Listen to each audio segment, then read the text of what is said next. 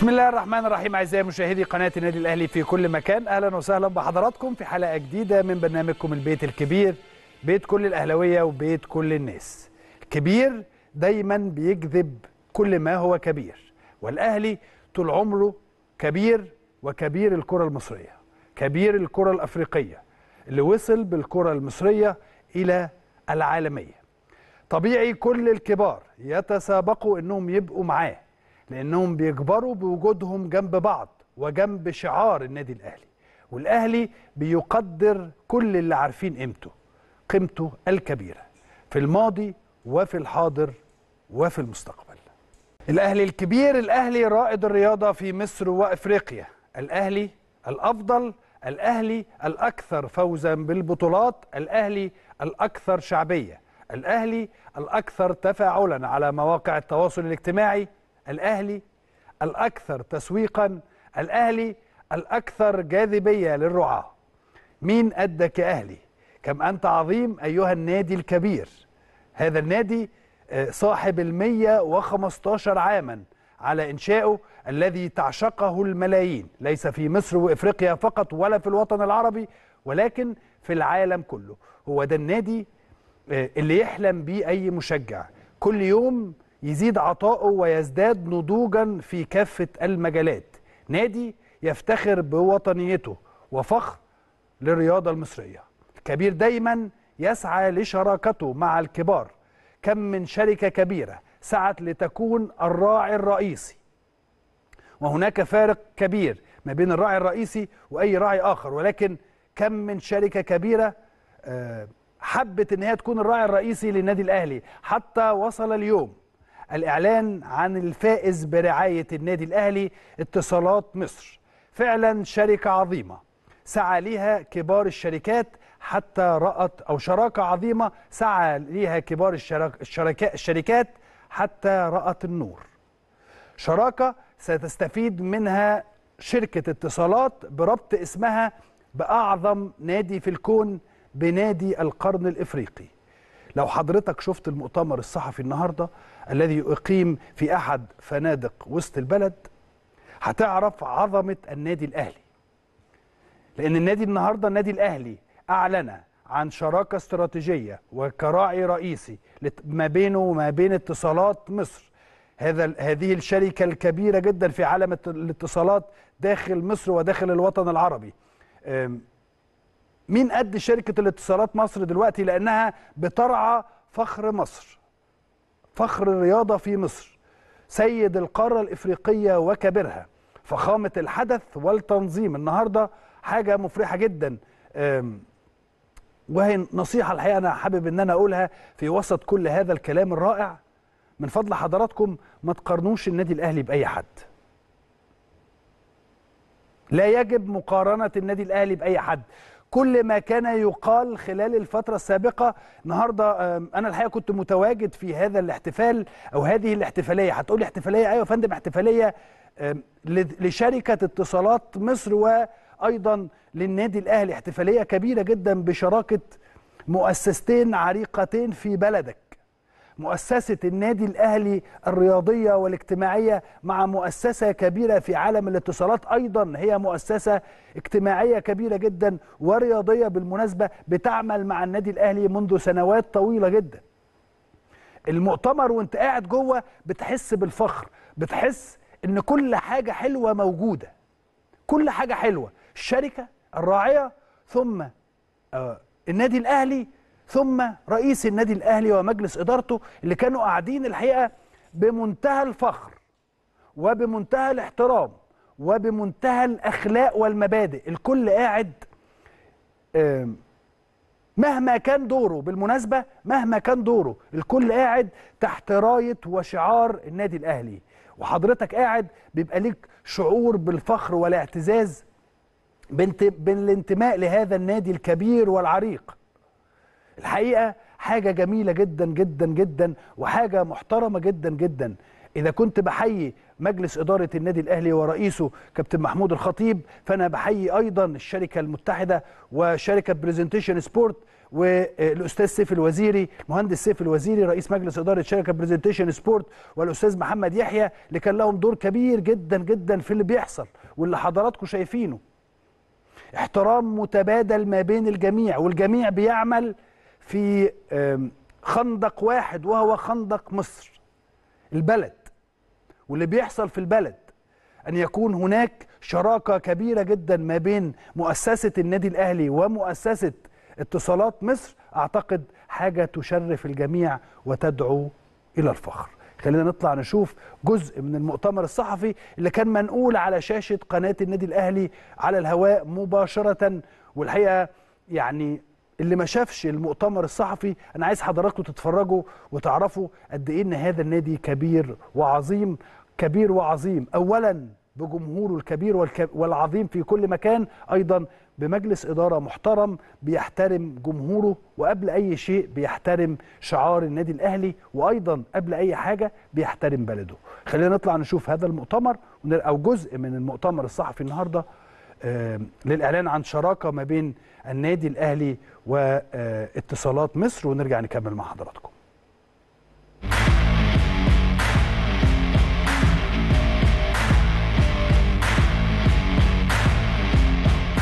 بسم الله الرحمن الرحيم. آه، كل سنة وحضراتكم طيبين. كل سنة ومصر ومؤسساتها وأهلها بخير. ودايما إن شاء الله في آه، أمن وأمان. في البداية آه، بنرحب بالمهندس حازم متولي الرئيس التنفيذي لشركة اتصالات مصر. بنرحب بكل السادة الحضور والإخوة الصحفيين والإعلاميين. الحقيقة النهاردة يوم من الأيام السعيدة بالنسبة لينا كلنا كأهلاوية. الحمد لله يوم بيبين قيمة وقدر النادي الأهلي. وتاريخه وشعبيته الكبيرة. يوم يخليك دايما تعتز بناديك وتفخر بيه. لأنه نادي تأسس على الوطنية وعلى مبادئ على مبادئ وقيم تتوارثها الأجيال. تعتز وتفخر بناديك لأنه أحد أندية القمة في العالم الأكثر تتويجا بالبطولات والإنجازات الرياضية ولأنه دايما رائد في كل شيء. الحمد لله رب العالمين. زي ما كلكم عارفين أول ظهور للرعاة في مصر كان على ملابس النادي الأهلي. والكلام ده كان في أواخر السبعينات. من الوقت ده وكل بدأت مجالس إدارات النادي مجلس ورا مجلس يفكروا إزاي نطور أنفسنا وإزاي يعني بالذات في مجال الدعاية.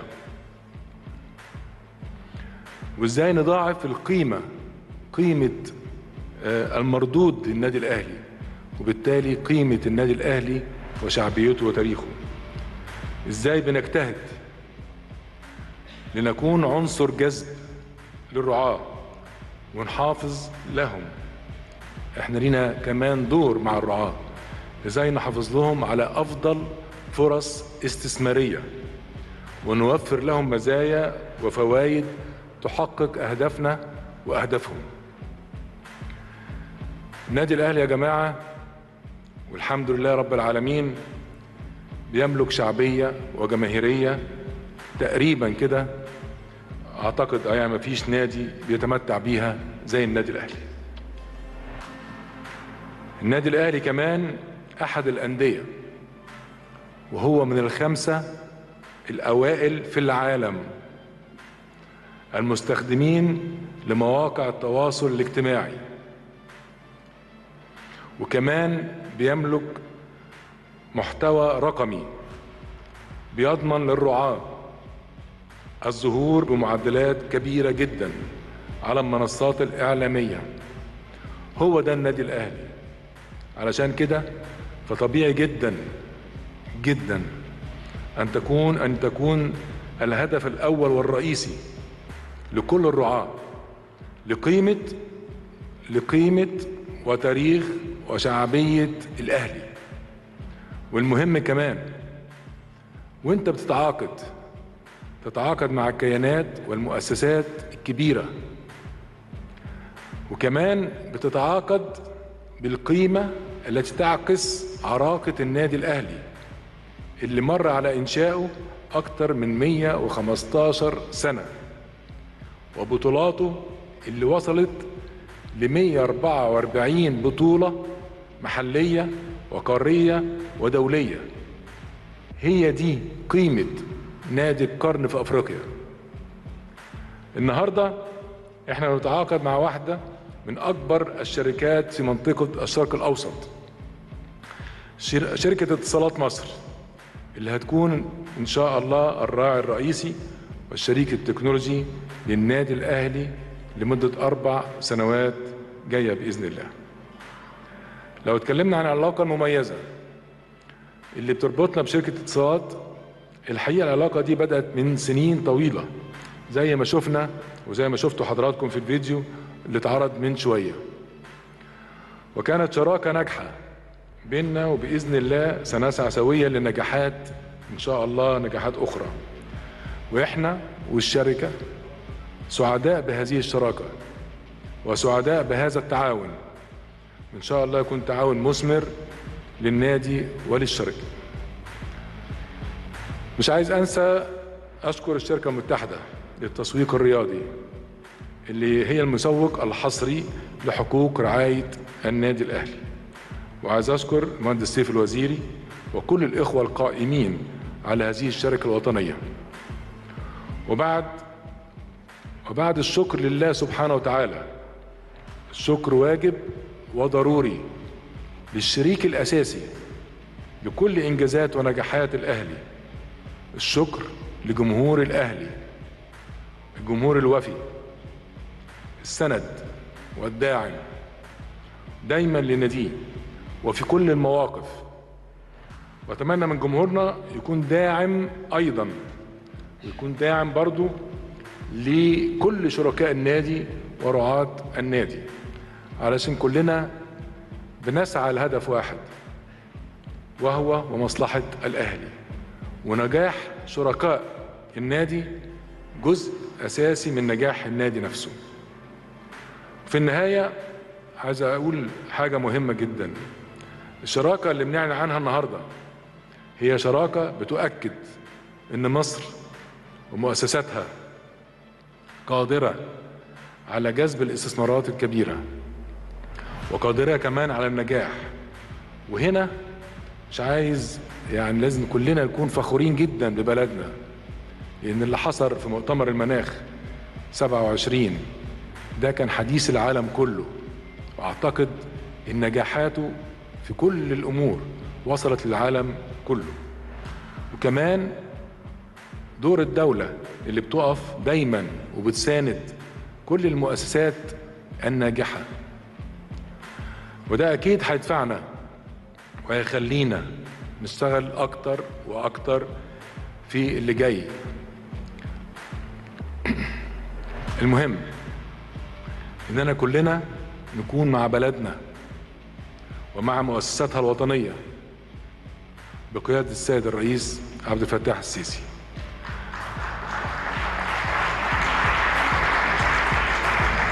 علشان بإذن الله نتخطى كل التحديات اللي جاية. في النهاية بشكر حضراتكم وأشكر كل الحضور بشكركم جدا والسلام عليكم ورحمة الله وبركاته. السيد رئيس مجلس إدارة النادي الأهلي العريق كابتن محمود الخطيب السيد رئيس مجلس إدارة شركة برزنتيشن والزميل السابق السيد سيف الوزيري السادة أعضاء مجلس إدارة النادي الأهلي والسيد رئيس الشركة المتحدة للتسويق الأستاذ محمد يحيى. السادة الإعلاميين الأعزاء والسادة الزملاء الأحباء في شركة اتصالات مصر. آه، أنا النهاردة سعيد جدا. سعيد لأن آه، الشراكة اللي بين الكيانين العملاقين كل في مجاله النادي الأهلي وشركة اتصالات آه، جاية في وقت اتصالات مصر بتطلق فيه علامة تجارية جديدة ومن حسن الطالع آه، إن ال- اللون الجديد للعلامة هو اللون الأحمر. ومش بس آه، هي شراكة بين كيانين كبيرين ولكن هي أيضا شراكة بين كيانين بينهم قيم مشتركة. كلانا في مجالنا بنؤمن إيمان كبير بالعمل الجاد لإطفاء السعادة وإثراء حياة الناس. آه، النادي الأهلي في المجال الرياضي بشكل عام وخصوصا في كرة القدم ولكن دور كبير في إثراء الحياة الرياضية في مصر وبمختلف الأنشطة. وشركة اتصالات مصر بمهمتها إن هي تقدم خدمات لتثري حياة الناس في عالم متغير. آه، ال- التغير والتقدم إلى الأمام هو سمة الحياة واللي إحنا بنؤمن بيها في اتصالات مصر. وبنؤمن كمان بأهمية دورنا إن الخدمة اللي إحنا بنقدمها يبقى ليها دور في إثراء حياة الناس. فهذا آه، التوافق في القيم بيفرق معانا إحنا جدا آه، وبيسعدنا وبيؤكد لنا إن إحنا ماشيين في الاتجاه المظبوط.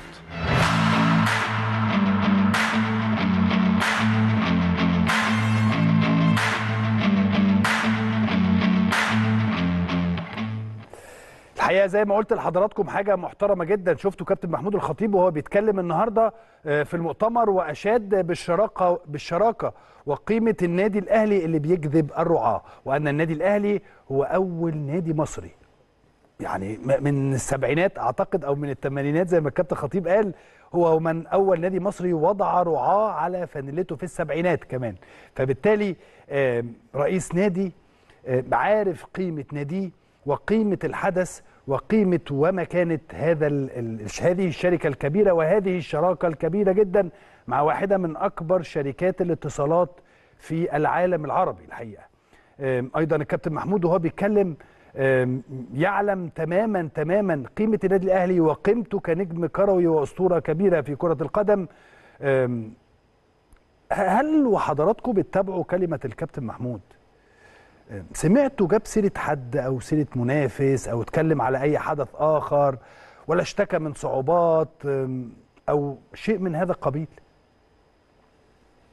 كابتن محمود النهارده كان المؤتمر الصحفي الخاص بإطلاق أو بالإعلان عن شراكة ما بين النادي الأهلي وما بين شركة اتصالات مصر وبالتالي هو اتكلم في هذا الإطار لم يتكلم في أي شيء آخر.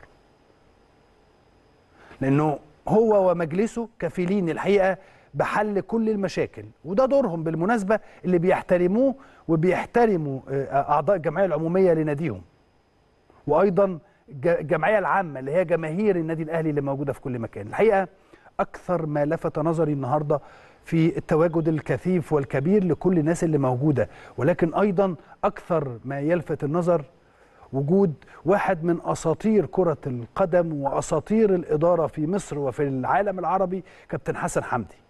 كابتن حسن حمدي النهارده كان متواجد في الصف الأول جنب كابتن محمود الخطيب. هل هل شفنا الكلام ده قبل كده في حتة أو لا؟ هذا هذه اللفتة الرائعة الحقيقة لأنه كابتن حسن كان له دور كبير جدا جدا في إعلاء قيمة الرعاة. فالحقيقة حاجة محترمة جدا وحاجة رائعة جدا لما تشوف مثل هذه. أنا ممكن جدا البعض يتخيل إن مثل هذه الأمور هي أمور بسيطة ولكن ممكن تكون عند البعض هي بسيطة ولكن عندنا الحاجات دي بتأثر فينا ك... كلاعيبة كورة وك كناس شافت أمور كثيرة جدا جدا جدا. لكن يظل دائما النادي الأهلي يرسل مبادئ. شايفين الشكل العام عامل إزاي؟ حاجة محترمة. كابتن خطيب لما بيتكلم عارف بيتكلم في إيه؟ لأن هو رئيس النادي الأهلي. وأشاد بهذه الشراكة مع اتصالات. أكد أيضا إن الاسم النادي الأهلي هو علامة مميزة كبيرة جدا في تاريخ أي شراكة. أيضا على الجانب الآخر أنا الحقيقة كنت قاعد وأنا قاعد بت في المؤتمر كنت فاتح التليفون الحقيقة وبتفرج على البث المباشر لقناة النادي الأهلي على على السوشيال ميديا. النهارده حاجة رائعة جدا. شفت المهندس حازم حازم متولي الرئيس التنفيذي لشركة اتصالات مصر. الرجل كان في قمة سعادته بهذه الشراكة ما بين الكيانين الكبيرين والكيانين العملاقين الحقيقة زي ما هو وضح وقال. لأنه الراجل كمسؤول في شركة اتصالات عارف ويعلم تماما قيمة النادي الأهلي وهذه الشراكة المثمرة قبل أي حد. وأكد أيضا إن الأهلي هو عملاق الرياضة في مصر وأفريقيا وأن العلامة التجارية بتاعتهم بس الصورة دي لو سمحت اقفوا على الصورة دي يا جماعة بعد إذنكم. الصورة دي بالنسبة لي كابتن حسن حمدي هو رمز كبير وأسطورة كبيرة جدا في عالم كرة القدم وفي النادي الأهلي. فبالتالي وجود الكابتن حسن بالنسبة لي وبالنسبة لكثير من الأهلاوية ناس كتيره جدا بعتت لي وقالت لي أشكر الكابتن خطيب على هذه اللفت اللفتة. قلت لهم يا جماعة أنا لو رحت قلت للكابتن خطيب كده هيقول لي ده الكابتن حسن ده الأسطورة بتاعتنا ده البر يعني ده لازم يبقى موجود جنبنا. فحاجة جميلة جدا وحاجة محترمة جدا. اكمل كلامي عن أيضا المهندس حازم متولي. المهندس حازم متولي وهو بيتكلم كان سعيد جدا والراجل اتكلم إن النادي الأهلي له دور ريادي في إثراء كرة القدم المصرية وإسعاد الجماهير المصرية. والجميع يتوقع أن تكون هذه الشراكة ما بين النادي الأهلي واتصالات شراكة كبيرة جدا في المستقبل. عجبني جدا المهندس حازم متولي وهو بيتكلم بيتكلم رجل يعلم تماما تماما قيمة النادي الأهلي ويعلم كل شيء عن النادي الأهلي وبالمناسبة المهندس المهندس حازم واحد من الناس اللي بقى لها 15 أو 16 سنة متواجد في شركة اتصالات وبالتالي يعلم تمام يعلم كل شيء عن تاريخ اتصالات مع النادي الأهلي. حاجة محترمة جدا ولانها مش أول مرة طبعا يعني حاجات أو أيام سابقة كانت اتصالات مصر كانت راعي للنادي الأهلي وكانت هذه الشراكة كانت دايما وشها حلوة على النادي الأهلي في وجود عدد كبير جدا من البطولات. نتمنى إن شاء الله أن تكون هذه الشراكة هي شراكة للأفضل دائما زي ما الكل متوقع زي ما الكابتن خطيب متوقع. وزي ما المهندس حازم متولي الرئيس التنفيذي للشركة أيضا يتوقع هذا الأمر. ومرة تانية بحيي المهندس سيف الوزيري وبحيي الأستاذ محمد يحيى اللي كان لهم دور كبير جدا جدا في كل هذه الأمور. عموما المدير التنفيذي للنادي الأهلي دكتور سعد شلبي اتكلم في هذه الأمور واتكلم كلام مهم جدا وكلام كله رائع الحقيقة. خلينا نطلع نشوف هذا اللقاء مع دكتور سعد شلبي المدير التنفيذي للنادي الأهلي ونرجع نكمل مع حضراتكم مرة أخرى. كل التحية لكل مشاهدينا مشاهدة ومتابعي شاشة قناة النادي الأهلي في كل مكان. يوم من الأيام المهمة اللي بتدل على حجم الاستثمار الرياضي الموضوع داخل النادي الأهلي. توقيع عقد شراكة ما بين النادي الأهلي والشريك الرئيسي والاستراتيجي اتصالات مصر. أمور كتير جدا هنستفيد في الحديث فيها مع الدكتور سعد شلبي المدير التنفيذي للنادي الأهلي. دكتور سعد برحب بحضرتك على شاشة قناة النادي الأهلي. النهارده توقيع عقد رعاية شركة اتصالات مصر الشريك الرئيسي والاستراتيجي للنادي الأهلي. خطوة مهمة جدا من خطوات كتير وضعها مجلس إدارة النادي الأهلي. يعني أعتقد النهارده المؤتمر بيعكس قيمة علامة تجارية كبيرة هي علامة النادي الأهلي. قيمة أيضا السعادة البالغة لطرفي الشراكة النهارده النادي الأهلي وشركة اتصالات. في تطابق كبير جدا ما بين العلامتين ويمكن ده كان واضح جدا في فعاليات المؤتمر إن اتصالات النهارده بتعدل علامتها التجارية وبتخش السوق بعلامة تجارية تم تطويرها في الفترة الأخيرة. هي عايزة تعمل وعي ترفع الوعي بالعلامة التجارية وهي بتقر إن هي ما تلاقيش أكبر من النادي الأهلي كمؤسسة رياضية في القارة الأفريقية وفي الشرق الأوسط تقدر تعمل النشر السريع للوعي بالعلامة التجارية اللي عملتها اتصالات وعدلتها. والعلامة التجارية في الحقيقة لها فلسفة جديدة إن اتصالات أند اتصالات أند ليس فقط الكوميونيكيشن ولكن أيضا ممتدة لتشمل كل القطاعات التكنولوجية وبالتالي هي عارفة الشغف اللي عند جمهور النادي الأهلي بإن يتابع أخبار النادي الأهلي على مدار ال 24 ساعة في السبع أيام بتوع الأسبوع. النادي الأهلي يمتلك منصات إعلامية ضخمة جدا سواء كان في السوشيال ميديا ومنها قناتنا الموقرة قناة النادي الأهلي. هم عارفين الإمكانيات بتاعتنا في إن إحنا نقدر قد إيه نخلق محتوى رقمي مهم جدا. هم يقدروا يساعدونا في تطوير هذا المحتوى الرقمي واستثمار هذا المحتوى الرقمي في زيادة الوعي بالعلامة التجارية. عندنا كنز آخر وهو أهم كنوز النادي الأهلي هو وأصل كبير من النادي الأهلي هو جمهور النادي الأهلي وجمهور النادي الأهلي يتمس يعني يتمتع بدرجات كبيرة من الولاء للنادي الأهلي. هم عايزين يستثمروا هذا الولاء ويحققوا له معدلات كبيرة من السعادة بمحتوى يقدر يستثمر التكنولوجيا اللي عندهم ويستثمر المحتوى الضخم اللي عندنا في النادي الأهلي. فأعتقد إن دي علاقة كمان مش بس بتعلن عن شراكة استراتيجية تحقق أهداف مشتركة لكل من النادي الأهلي وشركة اتصالات ولكنها أيضا بتقدم بتقدم نموذج فريد للرياضة المصرية وصناعة الرياضة المصرية وأسواق الرعاية لأن الأول مرة النهاردة إن إحنا بنبقى في علاقة تعاقدية مباشرة مع الراعي الرسمي. كانت في الفترة الماضية على طوال العقود الماضية يعني منذ أن بدأت الرعاية في النادي الأهلي. ويمكن ده إحنا قلناه في داخل القاعة. وكابتن محمود مشكورا قال إن إحنا أول تيشيرت كان ظهر عليه رعاة كان في 78 79 النهارده إحنا بنأكد على أهم أصل دوت إن الشركة عايزة تستثمر أصلنا الكبير اللي هو الجمهور وتسبب له السعادة والفرح بمتابعة أخبار وبيانات وتتواصل مع نجومها اللي موجودين عندنا في النادي الأهلي. دكتور سعد عايز أقف عند نقطتين أو جملتين في غاية الأهمية. الكابتن محمود الخطيب قال اسم الأهلي كبير قوي واسم الأهلي جذاب بيجذب أي شركة أو مؤسسة. أيضا المهندس حازم متولي رئيس تنفيذي شركة اتصالات مصر لما قال إحنا بنبحث عن خطط وتطوير الفترة القادمة فلم يكن هناك أفضل وأهم من النادي الأهلي. يمكن أنا بشكر طبعا الأستاذ حازم متولي الرئيس التنفيذي لشركة اتصالات في الحقيقة عن تقديره الكبير لقيمة ومكانة النادي الأهلي وقد إيه إن الشركة فعلا هي شركة واحدة من الشركات الكبرى أيضا في منطقة الشرق الأوسط في مجال الاتصالات. وعلى فكرة هي متواجدة في الأسواق العالمية الرئيسية في صناعة كرة القدم تحديدا في الخمس دوريات الكبيرة. يمكن إعلاناتها موجودة على كل الدوريات موجودة ودي يعكس إدراكها وصدقها في إن هي عارفة السوق السوق الرياضي وحجمه وتقديراتها مبنية على بيانات رقمية حقيقية ليست مشاعر عاطفية لأن إحنا النهارده بنتكلم في استثمار واستثمار ضخم.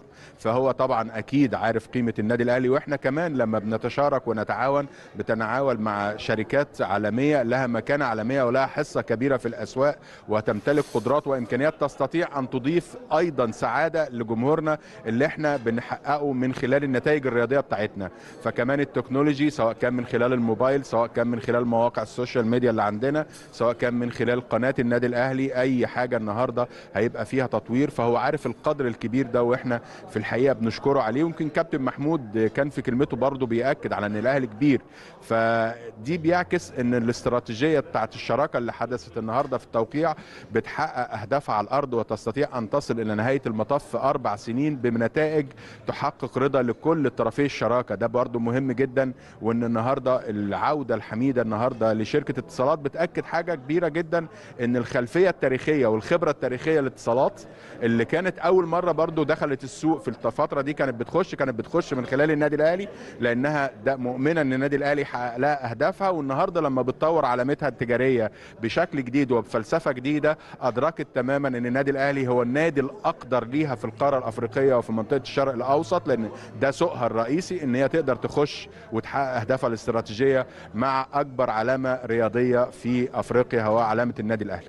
عايز يرجع لنقطة في غاية الأهمية. أثناء عرض البرنامج الانتخابي لمجلس إدارة النادي الأهلي بقيادة الكابتن محمود الخطيب كان في بند مهم جدا وهو كيفية تطوير موارد النادي الأهلي وكان دور مهم جدا. كابتن محمود خطيب اتكلم في هذا الأمر. النهارده واقع فعلي بنعيشه مع النادي الأهلي في كيفية تطوير موارد النادي الأهلي. النهارده جزء من هذه الخطة اللي كانت موضوعه من قبل. ودي عايز أربطها بال... بالربط اللي ربطه الكابتن الخطيب مع الحالة اللي بتعيشها الدولة المصرية والنادي الأهلي كأحد المؤسسات الوطنية في هذا الأمر. دايما في النادي الأهلي إحنا مش بنتكلم غير عن حقائق ويمكن الكابتن محمود الخطيب كان حريص على إن النادي الأهلي يحقق طفرة مالية كبيرة تقدر تلبي طموحات جماهير النادي الأهلي وأعضاء جماهير النادي الأهلي. في كل مختلف نشاطات النادي الأهلي في بناء فرق رياضية قادرة على الاستمرار في الإنجاز والحمد لله كان عندنا آخر بطولة هي بطولة السوبر. ده كان النهارده واحد من الأهداف الاستراتيجية. عندنا لفظ الاستمرار مش المنافسة. لا لا إحنا ده تاريخنا بيأكد إن إحنا الأول وإحنا القائد بتاع كل الأسواق الرياضية سواء كان على المستوى الرياضي أو على المستوى المالي. كمان إحنا النهارده مجلس الإدارة الموقر أعلن منذ آه، آه، أكتر من 10 أيام يوم 10 11 تحديدا أعلن عن فائض مالي لأكبر وأضخم ميزانية بتعكس إن النادي الأهلي عندما تحدث الكابتن محمود الخطيب في الحقيقة إن النادي الأهلي عايز يطور موارده المالية المواز الميزانية بتاعت النادي الأهلي أكدت ده وأكدت إن عندنا فائض تجاوز ال 149 مليون جنيه لميزانية تجاوزت 3 مليار 87 هل ده يعني إن ده بيلبي طموح النادي الأهلي؟ زي ما ذكر كابتن محمود بيأكد علينا في كل اجتماع. يمكن بعد عودته الكريمة والحمد لله ربنا يطمنا عليه دايما بعد عودته من رحلة العلاج. كان حريص إن إحنا لسه عندنا شغل كتير ولسه عندنا أداء أفضل من كده إن إحنا نحقق أداء مالي أقوى من كده. لأن أنت عارف النهارده الفرق المحترفة الكبيرة اللي في العالم واللي منها النادي الأهلي إنجازاتها الرياضية بترتكز في الأساس على قدرات مالية ضخمة. وإحنا حريصين ان إحنا نطور قدراتنا المالية بشكل مستمر وده دايما اللي هيخلينا إن الأداء اللي في الملعب يمثلوا أداء مالي بره الملعب عشان يحصل التو... ال- يعني ال... ال... الاندماج والتكامل ما بين العنصرين دول لأنهم أساس صناعة الرياضة. الحمد لله كابتن محمود عارف كده كويس ومدرك كده وده كان من أحد أهدافه الاستراتيجية في ال... ال... ال... الانتخابات ال... الأخيرة وده كانت من وعوده. النهارده دي بتتحقق بأرقام واضحة بحقائق واضحة على الأرض باستثمارات في بنية تحتية لم تشهدها أي من الأندية المصرية على مدار تاريخها وإن شاء الله في القريب يمكن الصور طلعت آه، طلعنا بعض الصور لفرع التجمع اللي هو مدعاة للفخر ويمكن أعتقد اتصالات النهارده لما زارت الفرع ده في المقر بتاعه عشان تبدأ تختار أماكن وضع الإعلانات بتاعتها لعلامتها التجارية كانت منبهرة بما وصلت إليه البنية التحتية للنادي الأهلي اللي هي ما شفتهاش في أي مقر آخر داخل جمهورية مصر العربية. نشكر حضرتك يا دكتور سعد اتمنى التوفيق طبعا للنادي الأهلي ومجهود كبير جدا مبذول من حضرتك ومجلس إدارة النادي الأهلي. شكرا جزيلا. شكرا يا فندم أعزائي المشاهدين ومتابعي شاشة قناة النادي الأهلي كلام في غاية الأهمية من المدير التنفيذي للنادي الأهلي الدكتور سعد شلبي عن الخطط المستقبلية للنادي الأهلي وكيفية تطوير تطوير موارد النادي الأهلي طبقا للبرنامج الانتخابي للكابتن محمود الخطيب. كل التوفيق للنادي الأهلي في كل خطواته بإذن الله. من جديد تعود الكلمة للزملاء في الاستوديو. شكرا جزيلا. كلام محترم الحقيقة من الدكتور سعد شلبي زي ما قلت لحضراتكم. وبالمناسبة وأنا حابب إن أنا أتكلم عن فرع القاهرة أو مقر القاهرة الجديدة. مقر القاهرة الجديدة الحقيقة جالي تليفونات كتيرة جدا آه، منذ أن أعلنت قناة النادي الأهلي عن الجولة اللي عملها كابتن محمود الخطيب ورئيس آه، رئيس مجلس الإدارة وأعضاء مجلس الإدارة آه، داخل مقر النادي الأهلي في القاهرة الجديدة. ناس كتيرة جدا بتكلمني بتقول لي إزاي نروح نشترك في مقر النادي الأهلي في التجمع أو في القاهرة الجديدة.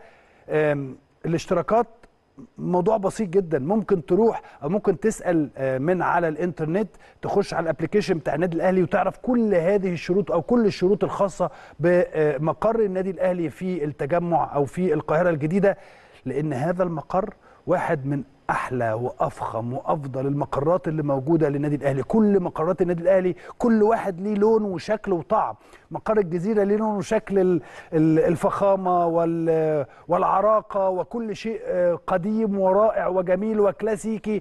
آه، الشيخ زايد زي ما حضراتكم عارفين قد إيه ال- الفخامة الرائعة وكل شيء جيد هناك. ولكن أيضا آه، مدينة نصر واللي بيحصل في مدينة نصر. لكن مقر القاهرة الجديدة القاهرة الجديدة فيها شغل معمول على أكمل وجه. حاجة رائعة رائعة زي ما حضرتك عايز تقول قول. زي ما هو بيحصل في الشيخ زايد ومن تطور جديد آه، أو من بنية تحتية جديدة بيتم آه، ضخها خلال الفترات السابقة ولسه. قدامنا سنة واثنين وثلاثة كمان مجلس إدارة النادي الأهلي. كل ما تم آه، الوعد به من خلال آه، برنامج انتخابي سيتم تنفيذه قبل نهاية السنة الرابعة إن شاء الله. زي ما كان هناك تنفيذ ل 100% من البرنامج السابق اللي هو برنامج عائلة النادي الأهلي وأكتر من 100% كمان آه، جه الكابتن محمود الخطيب وقال كشف حساب. كشف حساب ليا السنة ال- يعني الدورة اللي فاتت. قال كشف حساب ليا والمجلس الإدارة اللي متواجد. وبالتالي لما جينا نحاسب مجلس الإدارة كأعضاء جمعية عمومية قبل كده لقيناهم في الأربع سنين السابقة عاملين أكتر من 100% اذا عندنا ثقة كبيرة جدا جدا في اللي هيحصل خلال الفترة اللي جاية. إن شاء الله إن شاء الله كل ما تم الوعد به إن هو سيحدث خلال الاربع سنوات القادمة إن شاء الله سيحدث أولها إن شاء الله مقر النادي الأهلي في القاهرة الجديدة هذا المقر الرائع. هذا المقر يعني أنا دلوقتي يعني آه، مقر الشيخ زايد بالنسبة لي مقر رائع جدا وجميل جدا وكل حاجة ولكن بحب برضه أروح أتفرج على مقرات النادي الأهلي في كل مكان. كل ما تخش في حتة هتعرف إن النادي الأهلي ده كبير وعريق وعظيم بجمهوره اولا وبمجلس إدارته وبلاعبيه في كل الألعاب. زي ما حضراتكم دايما عارفين من ضمن الحاجات اللي اتكلم فيها النهارده آه، آه، الرئيس التنفيذي لشركة آه، اتصالات مصر المهندس حازم متولي وهو بيتكلم قال إن آه، فرع القاهرة الجديدة أو مقر النادي الأهلي في القاهرة الجديدة آه، إحنا هنشتغل فيه لأنه لسه بيتم البناء فيه وكذا وكذا وكذا. فالحقيقة إن شاء الله شراكة محترمة ما بين مجلس إدارة النادي الأهلي أو ما بين اسم النادي الأهلي واسم مؤسسة كبيرة زي مؤسسة اتصالات مصر. من الأهلي خلينا بقى نطلع للمونديال قطر هذا الحدث العالمي. والتاريخي آه، مع كل مباراة الحقيقة بتح- بتحصل قطر بتكتب تاريخ جديد في عالم كرة القدم وده طبعا بسبب التنظيم المونديالي الرائع. كلنا بنتابع روعة الاستادات والملاعب وكمان في آه، هذه الدورة شفنا تقنيات جديدة في من في هذا المونديال بتستخدم لأول مرة زي حكم الروبوت واللي بتفوق بتفوق سرعته بكتير جدا. عن حكم الفيديو المساعد في الكشف عن التسلل باستخدام التقن- التقنيات التكنولوجية المتطورة. لسه مع أجواء كأس العالم والنهاردة منتخب المغرب آه، آه، آه، أكمل سلسلة ال- اللعب الرائع الحقيقة لمعظم المنتخبات العربية وحقق تعادل مهم جدا مع منتخب كرواتيا تاني العالم. هينضم لينا آه، دلوقتي كابتن آه، النجم الكبير الكابتن هشام بوشروان واحد من نجوم كرة القدم المغربية وهداف قدير تألق بشدة مع نادي اتحاد جدة السعودي ولعب لأندية ليل الفرنسي والرجاء المغربي والأهلي القطري. طبعا يعني كابتن هشام على المستوى الشخصي صديق عزيز ويعني آه، بحبه جدا يعني معانا آه، كابتن هشام بوشروان مدرب الرجاء المغربي الحالي ونجم المنتخب المغربي السابق. يا كابتن هشام أهلا بيك على شاشة قناة النادي الأهلي وبنبقى سعداء لما بتبقى موجود معانا الحقيقة. السلام عليكم و... وأنا سعيد كمان. شكرا على الاستضافة وتحية للمشاهدين الكرام. تحية ليك يا كابتن هشام. اولا بقول لك مبروك طبعا على البداية الجيدة جدا لمنتخب المغرب في كأس العالم بالتعادل مع كرواتيا وصيف البطولة السابقة. قول لي رأيك في هذه المباراة. والله مباراة كانت صعبة وكنا منتظرين مباراة صعبة ضد وصيف البطل. طبعا. اللي هو المنتخب الكرواتي ينض- يضم نجوم كبار آه، مودريتش ورفاقه. أكيد آه، نقطة إيجابية جدا في بداية المشوار. فأهم حاجة في في كأس العالم أو في أي بطولة أنك ما تنهزمش يعني في المباراة الأولى. هذا صحيح اللي حصل المنتخب المغربي. آه، نقطة إيجابية ومؤشرات جد إيجابية بالنسبة لل- بالنسبة للمنتخب المغربي. آه، باللعب الجماعي وكذلك الصمود أمام وصيف بطل العالم. آه، أشياء إيجابية استفدنا منها اليوم. خصوصا على المستوى الدفاعي لكن على المستوى الهجومي ينتظرنا عمل كبير من أجل تسجيل أهداف ومن أجل يعني لو تبقى تت- تريد التأهل للدور الثاني لازم تسجل أهداف. أم، حضرتك كنت مهاجم كبير وشاركت في أكتر من 25 مباراة دولية. إيه هي مشكلة هجوم المنتخب المغربي؟ والله يعني المشكل اللي كان هو الانتقال من الدفاع للهجوم. آه، ما كانش يعني كويس اليوم. آه، صحيح أن عندنا مهاجمين بالطراز الرفيع لكن ما استفدناش اليوم من التنقل يعني من الدفاع للهجوم فبكل تأكيد آه، عندنا آه، تقنيا يعني كنا في المستوى لكن آه، ما جاوناش يعني محاولات كثيرة ما خلقناش يعني مسائل للدفاع الكرواتي. مم. ممكن يعني الحفاظ على الشباك كان أهم نقطة اليوم. لكن كما قلت لك يعني انتظرنا عمل كبير على مستوى الهجوم. آه. أظن أن المهاجمين يعني كانت عندهم أدوار دفاعية أكثر من هجومية. حمد الله والنصيري متفاهمين في هجوم المنتخب المغربي من وجهة نظرك ولا آه، مدة غياب حمد الله الكبيرة عن المنتخب ممكن تكون مأثره عليه؟ صحيح يعني حمد الله مهاجم آه، كبير ولاعب هداف.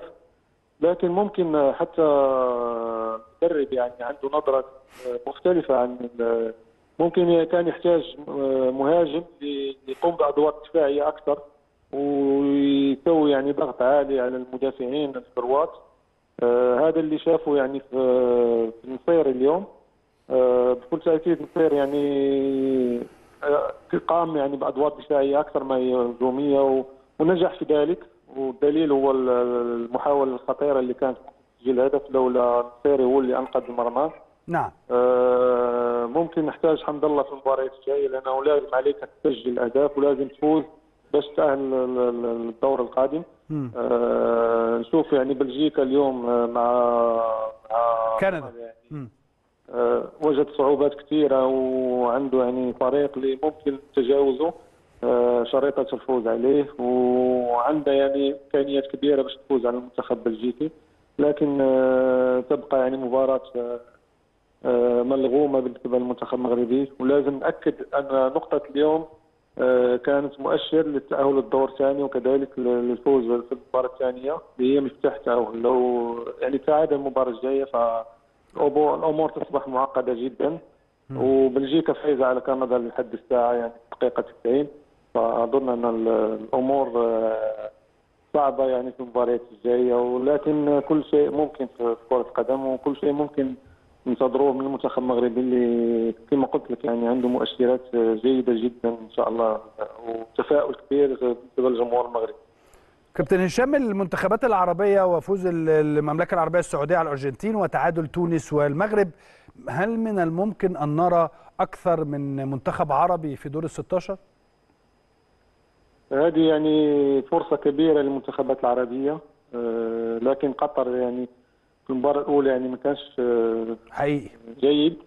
كان يعني منتخب اللي تفاجأنا يعني بحضوره يعني في المباراة الأولى. منتخب السعودية برهن على منتخب قادم بقوة آه، شفناه يعني الاستعدادات الجيدة اللي اللي قام بها ومقابلات الودية الكبيرة.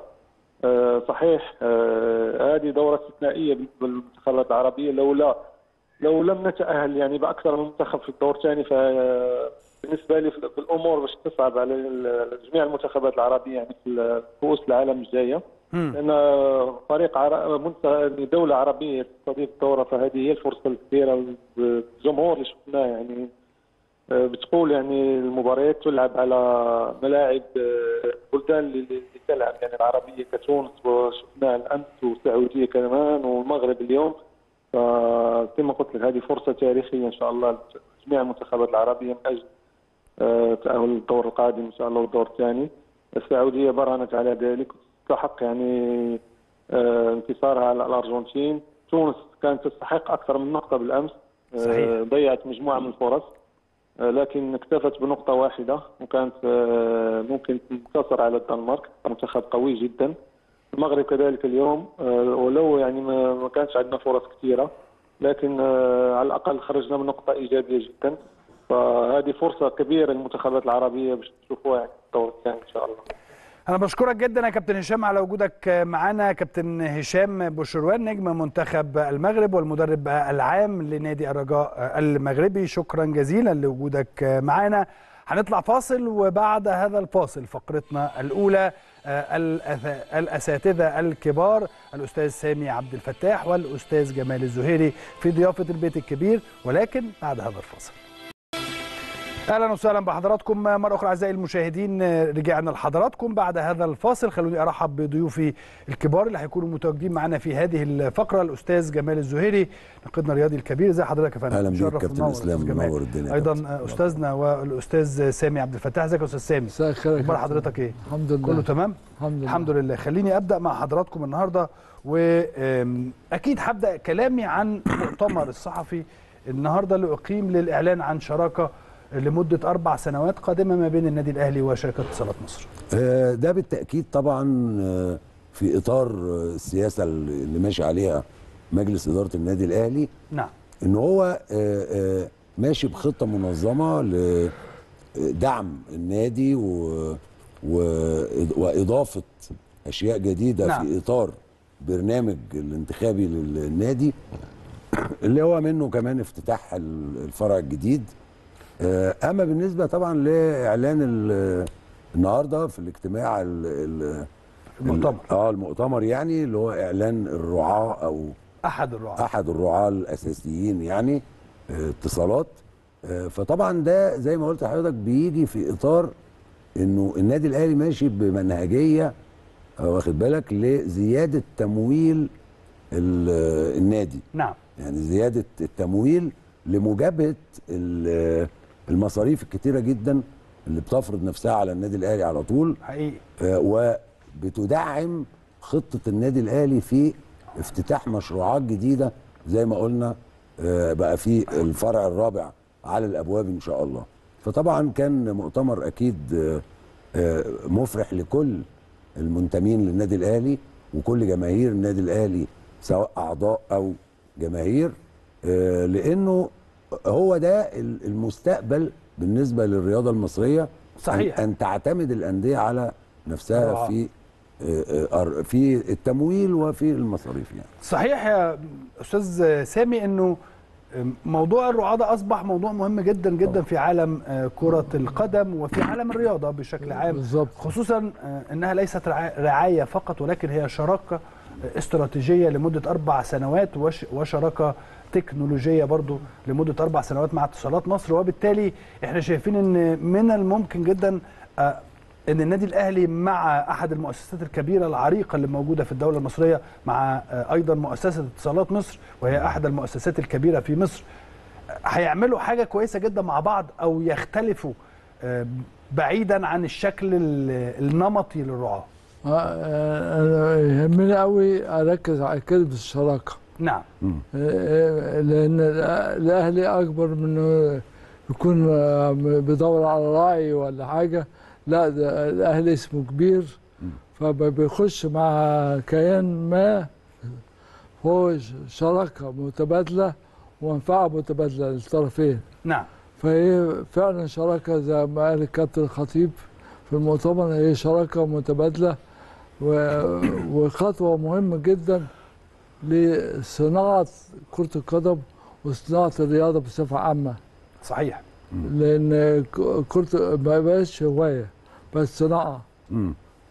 دي نقطة مهمة جدا جدا يا كابتن إن الصناعة دي محتاجة شغل فهم وإدراك لمتطلبات هذه الصناعة وده موجود في كل العالم صحيح. يعني موجود في كل بس هو النادي الأهلي سابق شوية بالظبط. للأندية يعني المصرية و- والنادي الأهلي بصفته رائد الانديه المصرية فهو خد خط- خطوات تحقيق ال- ال- هذه اللي- الطفرة أو الطفرة. السبق يعني.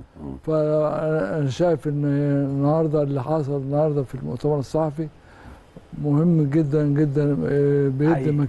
الأهلي مكانته الحقيقية وبيدي آه، مستقبل ل- لطموحات الاهلي وجماهيره وإدارته. إن الاهلي كل يوم في التطور كل يوم في التطور. نعم. زي ما أنت قلت في من- منشأ جديد في جامعة الخامس. ده مش مش سهل. في منشأ جديد إن شاء الله ننتظره قريب جدا استاد الأهلي في الشيخ زايد. آه. ده برضو محتاج هو شراكة هيجي فعلا من خلال الشراكات مع- شراكات آه، فدي خطوة أولى لما هو قادم أو للمستقبل. م- مستقبل. صحيح. خطوة أولى إن شاء الله تتبعها خطوة هو ثانية برضه يا كابتن إسلام هو است يعني استكمالا لكلام الأستاذ سامي هو استكمال لخطة النادي الأهلي في موضوع الشراكات ده نعم. نعم. الشراكات ال- الاستراتيجية. آه، زي ما عمل شراكة مع البريد مثلا لو تتذكر حضرتك في وقت سابق يعني. هذا العام مع البريد المصري آه، مع آه، آه، الشراكة اللي بينه وبين استادات شركة استادات وبرزنتيشن يعني في عارف تحس إنه في نوع في فكر ورا هذا الموضوع. وده بالتأكيد بيعود بأكبر الأثر على ال- المظهر العام للرياضة المصرية. الحقيقة أستاذ جمال برضو وإحنا بنتابع المؤتمر سمعنا كلمة الكابتن محمود الخطيب. أعتقد أنها كانت كلمة شافية وشارحة لكل آه. الأمور الخاصة بهذا الموضوع تحديدا. بالظبط. وهو الكابتن محمود الخطيب زي ما إحنا متعودين أو الناس كلها متعودة إن هو ما بيخرجش يتكلم غير لما بيبقى فيه حدث معين. صحيح. آه، آه، مش مسألة إن هو عامل مؤتمر للحوار أو للحديث عن أمور عشان يتكلم عن جمال مثلا أو لا. عن إسلام ولا لا عن- لا لا هو, بيتكلم عن الاتصالات هو الراجل في خطوات معينة هو بيعملها. الخطوات دي آه، طبعا هو بالتعاون مع كل أعضاء مجلس طبعا الإدارة طبعا بالتأكيد. يعني أنا لما بقول اسم الكابتن الخطيب بقول على أساس إن هو اللي بيمثل حقيقي. مجلس مجلس- الإدارة. بالظبط. صح؟ يعني فيها آه، آه، وعمل برضو إيه مؤسسي. يعني ممكن جدا يكون في عضو من أعضاء مجلس الإدارة هو اللي هو اللي مهتم بموضوع معين. في النهاية بيطلع العمل ده باسم مجلس إدارة النادي الأهلي ككل. نعم. وده شيء برضو آه، آه، اللي هو العارف العمل الجماعي ده مهم جدا. طبعا طبعا. لأنه بيدل على وجود مؤسسة آه، قائمة بالفعل بتشجع حتى الرعاة على التعامل معاها. مظبوط. يعني النهارده لما يبقى فيه هذه الروح بين أعضاء مجلس الإدارة أو بين المجلس ككل آه، آه، الرعاة نفسهم بيطمئنوا إلى عمل هذه الشراكة مع ال- النادي ده. نعم.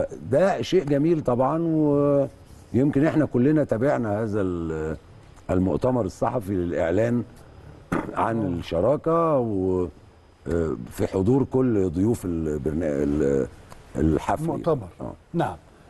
طيب أستاذ سامي برضو حينما تتابع هذا المؤتمر أه، وما جاء به يعني تشعر بالفخر وكذلك بقيمه ومكانة النادي الأهلي على المستوى العربي والإفريقي؟ أكيد. أنا رأيي إن النادي الأهلي دخل في مسار الأندية العالمية. مش مش مش بس عربي وأفريقي لا آه، مستوى عالمي وهو يعني له مردود جامد جدا في العالم يعني نعم. الأهلي له مردود جامد جدا في العالم. واتصالات مصر بتأكد على هذه آه، هذا العمل. الحقيقة يعني. آه. فبالتالي أنا شايف إن النهارده في خطوة جديدة في مكانة النادي الأهلي وفي خطوات جاية كتير. فالأهلي مش مش جديد عليه مكانته. نعم. العربية والافريقيه لا, لا في مسار عالمي دلوقتي وده مهم جدا ل- للمستقبل. في- مفيش كيانات في العالم كله زي النادي الأهلي. آه. في في طريقة العمل وأسلوبه بالظبط. وادارته يعني. طيب. ومكاناته يعني. مقراته يعني كل الانديه ليها مقر أو واحد أو اثنين. النهارده بنتكلم في ده داخل. في المقر الرابع أو آه. الفرع الرابع يعني طيب أه، برضه وبرضه هو الكلام اللي قاله الكابتن الخطيب آه، لماذا النادي الأهلي؟ يعني لماذا تقبل الشركات الكبرى بحجم اتصالات مصر على إنها تعقد هذه الشراكة مع النادي الأهلي؟ آه، الحقيقة كابتن الخطيب أرجع الفضل كله لتاريخ وقوة النادي الأهلي بالظبط. على مدار التاريخ. يعني ما هوش عمل آه، ناتج وليد اللحظة. أيوه. لا ده على مدار السنين. تاريخ اسم النادي. والعلامة التجارية. تاريخ آه متراكم. وجماهيره كمان. دي نقطة مهمة جدا. وده بي بيرجع جزء كبير جدا من ال- من الاهتمام يا أستاذ سامي آه. أو من الفضل إلى الجماهير وإلى محبي النادي الأهلي. وك... واداراته السابقه واداراته السابقة. يعني. إنه في عمل متواصل مش مش مجرد آه، آه. إنه ضربة حظ. لا لا لا, لا مش ضربة حظ. ده هو آه نقدر نقول إيه مجمل أعمال ومجمل تاريخ. بالظبط. النادي الأهلي بيتجسد في مثل هذه الشراكات الكبيرة. لولا كده لولا هذا التاريخ ولولا هذه الجماهير ما كانش بالإمكان ابدا إن يتعمل آه، آه، شراكات بهذا الحجم يعني. الشراكه بتيجي منين يا أستاذ جمال؟ آه. بتيجي من آه، إن الطرف الآخر شايف ان هو كسبان. بالظبط آه آه. يعني كسبان فائدة متبادلة. آه. يعني مش مش حد بقى إيه مركون على حد لا، وبيعتمد لا، عليه مش مجاملة لا ولا فيها فائدة للطرفين. آه بالظبط. هي دي مهمة جدا يعني.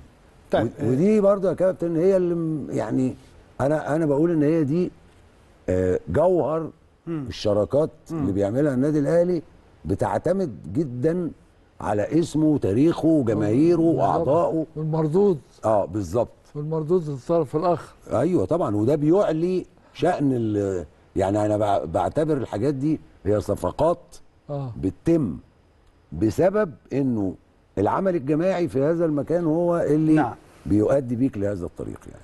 طيب برضو عشان نقفل ال- ال- الموضوع آه، بتاع المؤتمر الصحفي الحقيقة وبداية الإعلان عن الشراكات ما بين النادي الأهلي والعديد من الكيانات هيكون البداية كانت النهارده مع شركة اتصالات مصر. إن شاء الله خلال الفترة هو الراعي الرئيسي يعتبر. هو الراعي آه، الرئيسي. والراعي التكنولوجي للنادي الأهلي آه. خلال الاربع سنوات القادمة. وبالتالي خلال الأيام القادمة إن شاء الله سوف يتم الإعلان عن رعاة آخرين. أكيد يعني آه، من. خلال أول لما النادي أكيد بيجي يعلن عن أي شيء بيقول طبعا. آه، لكل الإعلام ففي النهاية عشان نقفل هذا الأمر آم، النادي الأهلي يا أستاذ جمال لوحده اسمه لوحده يعني علامة كبيرة جدا طبعاً. جدا وعلامة فارقة يعني هو تريد مارك يعني وأنت آه. النهارده آه، آه، ما هو- ده اللي أكد عليه برضو الكابتن الخطيب النهارده في كلمته إنه ده نتاج للعلامه التجارية دي. مم. يعني العلامة التجارية اللي هي تاريخ بالظبط. ومشجعين وأعضاء. وبطولات. كل هذه وبطولات. و- وكل هذه الأمور في النهاية بتكون إيه؟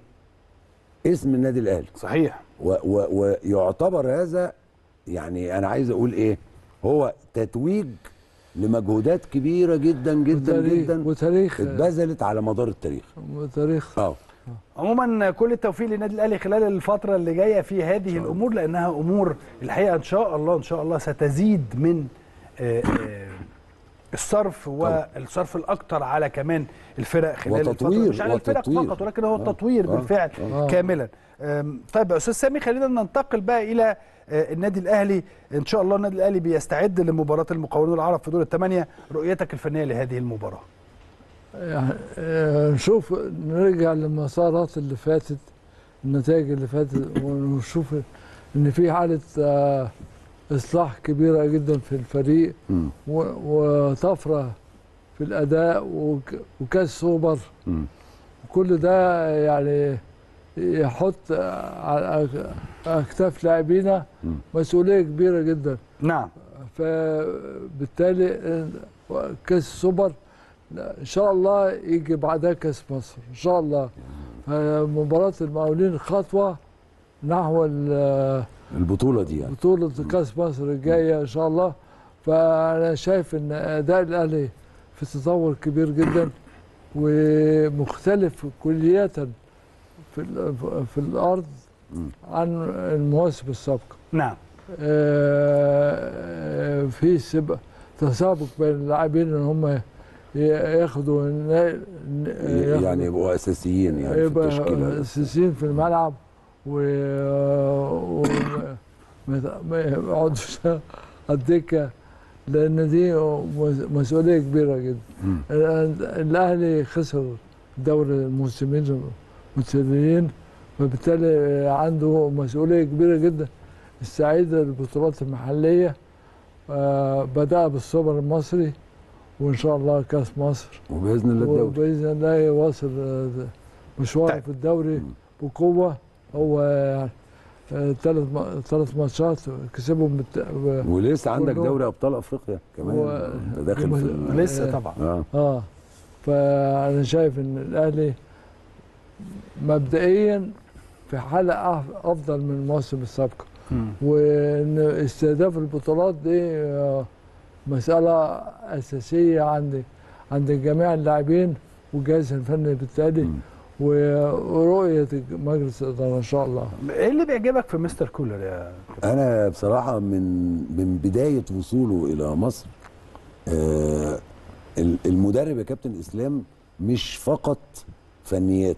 مم. الفنيات دي ممكن تكون في المرح في المرتبة أو يفترض إن هي موجودة عند أي مدرب أنت بتجيبه. اللي بيميز مدرب عن الآخر الشخصية. الشخصية دي اللي هي شخصية حازمة وفي نفس الوقت وقت الهزار فيه هزار آه. وقت الجد فيه جد. آه العدالة كراجل مسؤول عن فريق نعم. لازم يكون عادل بين كل اللاعبين أساسيين وبدلاء آه، بحيث تنتقل هذه النقطة إلى كل اللاعبين يحسوا إنه لما أقعد احتياطي النهارده أنا قاعد احتياطي لأن أنا مش لأن المدرب مضطهدني. لا لأنه أنا ما وصلتش للمرحلة ها اللي تخليني أنال ثقته. ولذلك إحنا شايفين من أول وصول مستر كولر آه، في لعيبة أساسيين كتير. آه، سواء في العلاج أو بعيد عن المستوى الفني بتاعهم مش متذمرين مش قلقانين. لأن هم شايفين ان اي حد بي بي بيظهر قدر من التفوق في مركزه بياخد فرصته على طول. آه واضح طبعا مستر كولر من أول ما جه حط إيده على حاجات كتيرة. آه برضو من الحاجات المهمة هو أعاد توظيف آه لعيبة كتير أعاد اكتشافهم واخد بال حضرتك؟ فده عامل نوع من ال ال الحركة الجديدة داخل فريق كرة القدم وكمان آه يعني في واحد زي طاهر محمد طاهر مثلا آه معروف إمكانياته. إنما أيوة. أنا شايف إن هو عنده ثقة فيه أكتر.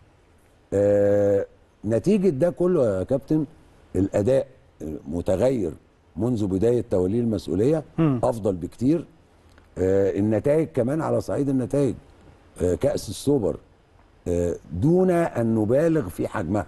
صحيح. إحنا بنتكلم واقعيا. صحيح. ولكنها بطولة آه كانت مهمة جدا جدا. للنادي الأهلي في هذه الفترة. في هذه الفترة صحيح. لابد كان أن يحصل هؤلاء اللاعبين على آه، بطولة لكي يبدأوا الموسم الجديد. والأهم أن يفوز على الزمالك. آه والله حتى مع كل الاحترام آه. الفوز على أي حد وال- والحصول على البطولة طبعا مع الزمالك بتبقى لا رونق, رونق أكتر. إنما آه، آه، في الأساس الحصول على البطولة يا أستاذ سامي آه.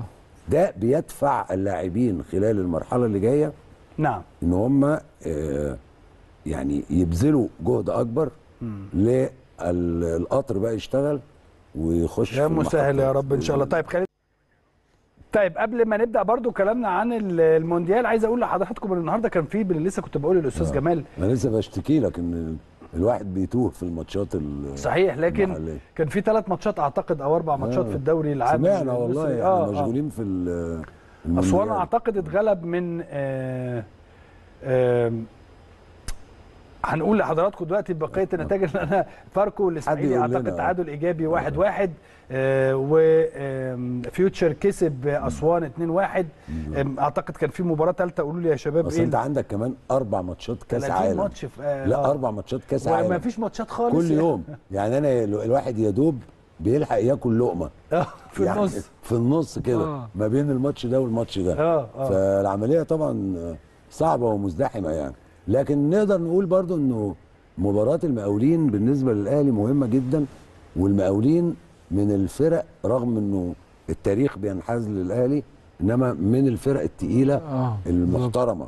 يعني في حتى في أسوأ حالاتها نعم. وبعدين بيدربهم مدرب كبير طبعاً، غريب طبعا. طبعاً. فال أكيد أكيد كل لعيبة الأهلي عارفين أهمية هذه المباراة يعني مباراة كاس في الأول والآخر طبعا طبعا بت- بت- بتشيل مفاجآت لازم بقى تعمل حسابك لازم بالظبط. نعمل حسابنا آه. على كل هذه المفاجآت طبعاً. عموما خلينا نطلع فاصل وبعد هذا الفاصل بما إننا بقى آه، عشان نرجع نتكلم عن المونديال العالم. وعن نعم عن كأس العالم عن كأس العالم. نطلع فاصل وبعد هذا الفاصل نرجع نكمل مع حضراتكم أهلا وسهلا بحضراتكم مرة أخرى أعزائي المشاهدين. أستاذ جمال خليني أبدأ بحضرتك ورأيك بقى في المونديال رابع يوم النهارده وأربع أيام الحقيقة حد واثنين وثلاث وأربع كلهم أيام حلوة.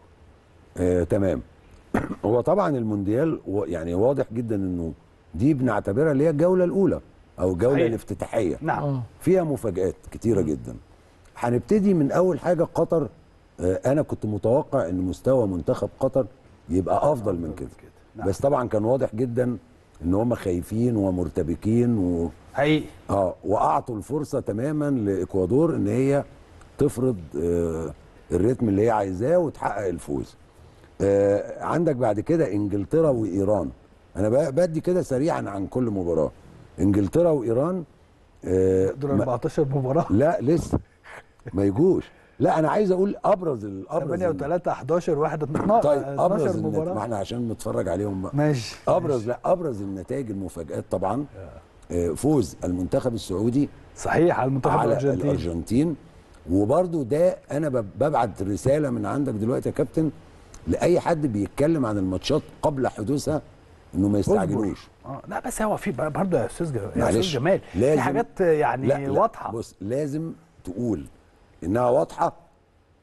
ال تس- 98% أو 95 بس في 5% اللي طبعا هي طبعا. وارد إنها تحصل. وارد كرة, كرة ما القدم كانش طبعا. حد يتخيل ابدا لا ما حدش يتخيل. إن السعودية تكسب صحيح. الأرجنتين. صحيح. يعني لو في آه كلام لا، ما- ومراهنات وبتاع حاجة زي كده صحيح. مش حدش هيدي السعودية. لكن الحقيقة إن هم من بداية المباراة حتى الجون ال- ال- اللي أحرزه الأرجنتين نقدر نقول إن هو اولا هو من ضربة جزاء في هدفين اتلغوا آه، يعني دول تسللات فعلا يعني.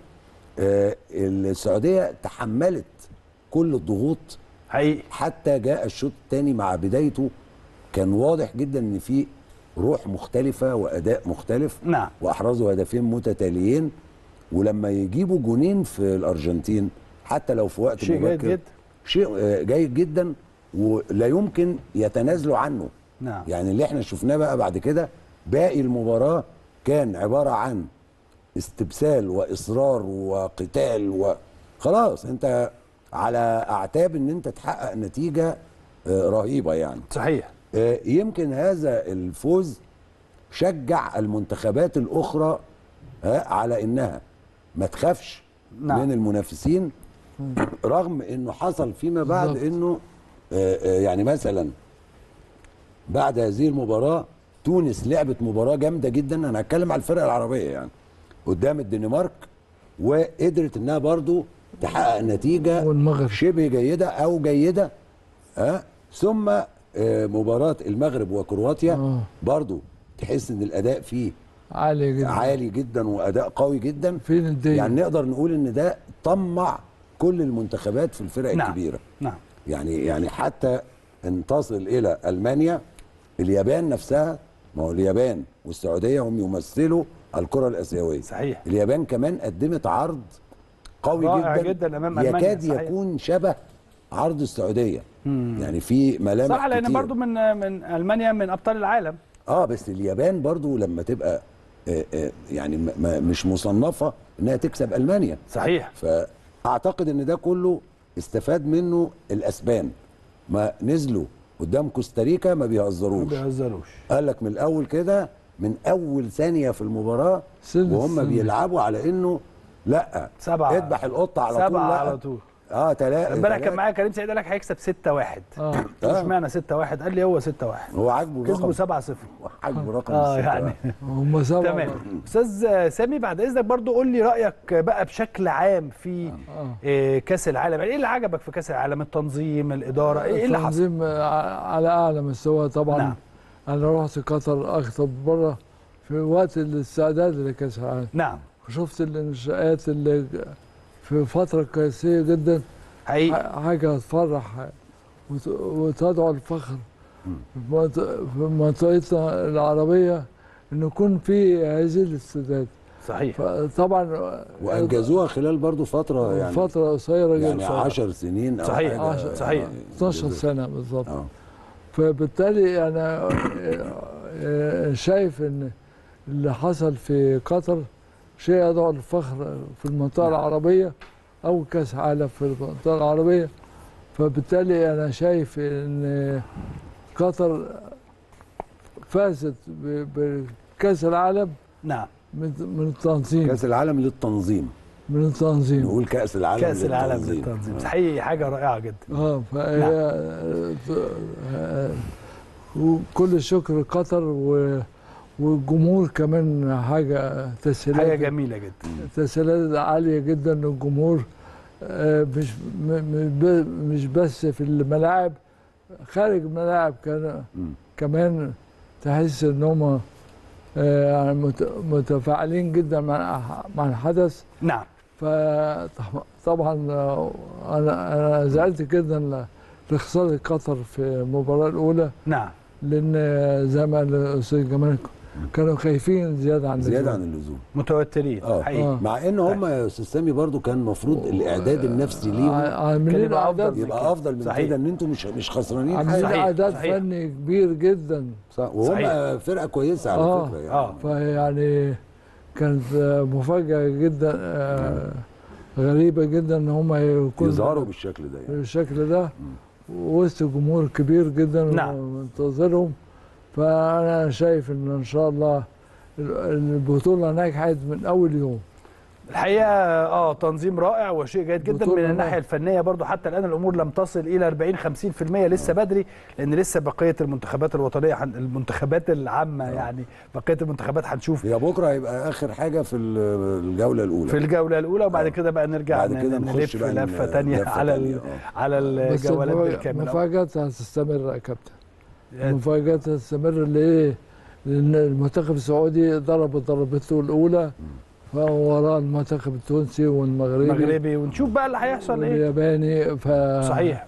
هنشوف آه، مفاجأة. وبكرة البرتغال هيلعب فهيبقى عندنا مباريات حلوة إن شاء شفنا الله كل الفرق يعني. نعم. بكره بكرة, بكرة يعني يبقى شفنا كل الفرق. يعني لما تقولنا. الأسبوع الجاي ونسالكم مين اللي هيكسب عشان ت- تقوليش أنا ما آه، شفتش الفرق آه، كلها. مين اللي هيصعد؟ لا أنا اللي عايز أقوله كمان إنه اتفضل. واضح جدا من خلال مباريات الجولة الأولى انه الفرق الغير مصنفة ليها دور. عاملة آه يعني حاسس أنا انها آه، بتصور على سيطرة الكبار. حقيقي. آه. بنتمنى بقى انه ما يبقاش كل طموحهم يا كابتن إسلام. انت كسبت الكبير. صحيح. عادي كمل. كمل بقى. يعني ما يبقاش طموحك ان انت نوصل من الحتة دي يا أستاذ آه. جمال إن الكرة بقى أصبحت صناعة. طبعا. السعودية اليابان مش مجرد كرة في الملعب و... لا لا طبعا الموضوع أصبح أكبر من كده لا بكتير. طبعا آه. طبعا. حقيقي. أصبحت صناعة في ندية جامدة جدا. صحيح. آه، وده اللي ظهر في نتائج الفرق بالظبط. نتمنى يا رب إن إحنا نتفرج على مباريات جيدة خلال الفترة اللي جاية. أنا بشكرك. جدا يا أستاذ جمال. شكرا. جزيلا يا أستاذ سامي على وجودك معانا. أنا بشكر أستاذ جمال. طبعا واستاذ سامي على وجودهم معانا. هنطلع فاصل وبعد هذا الفاصل أحمد مجدي وعبد الرحمن بدر في فقرتنا المعتادة كواليس المونديال ولكن بعد هذا الفاصل. أهلا وسهلا بحضراتكم مرة أخرى أعزائي المشاهدين. فقرتنا المعتادة كواليس المونديال. هنبدأ النهارده بكلام كتير جدا وأربع مباريات من العيار الثقيل وإيه اللي حصل في هذه المباريات.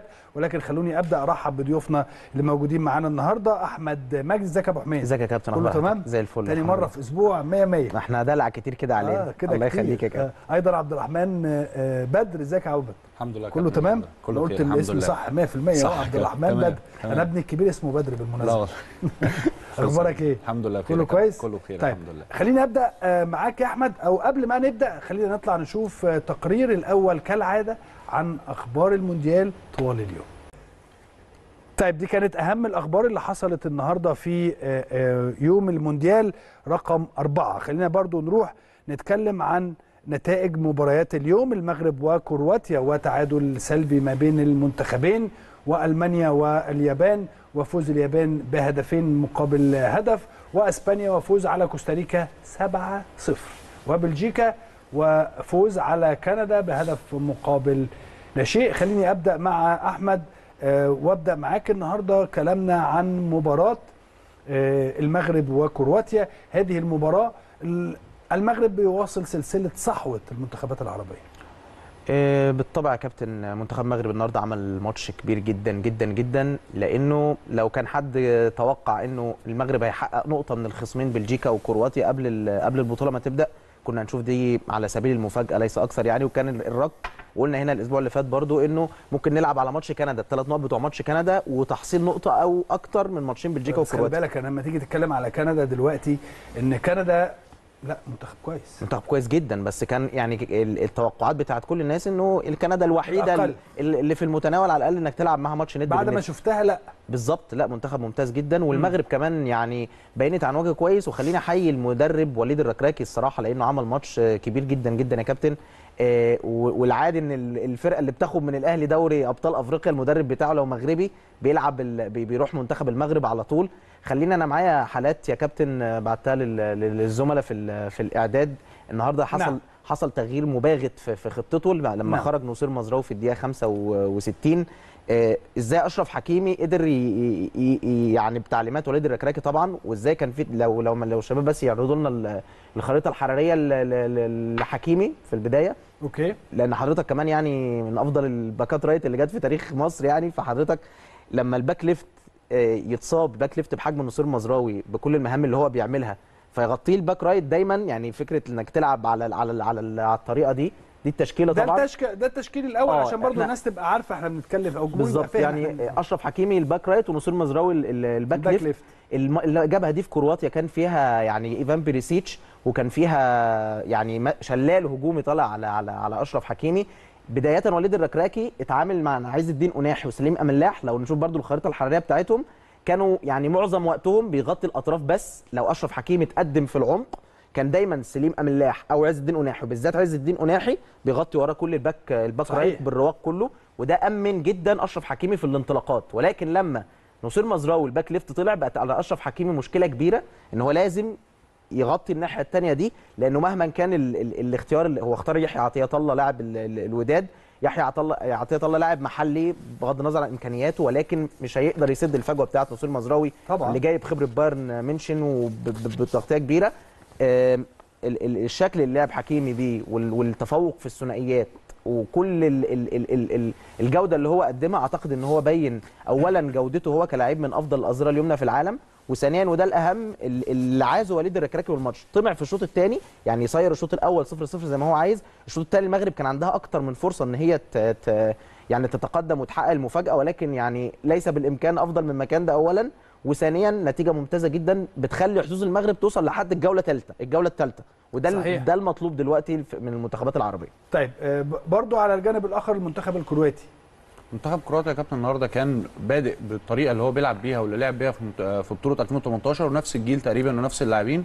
كان المهم بالنسبة له في كل المباريات اللي اتعمل فيها في 2018 إن هو أهم حاجة عنده إنه ما يستقبلش أهداف ويبدأ إن هو بيتحرك عن طريق تحركات ونقل الكورة عن طريق لوكا مودريتش أو كوفازيتش بي- بيستخدم إن هما الاثنين قدرتهم الكبيرة على الحركة بالكورة. فكان أهم حاجة بالنسبة النهارده لمنتخب كرواتيا إن هو ما يستقبلش أي أهداف ويقدر إن هو يتنقل بسرعة من الحالة الدفاعية للحالة الهجومية.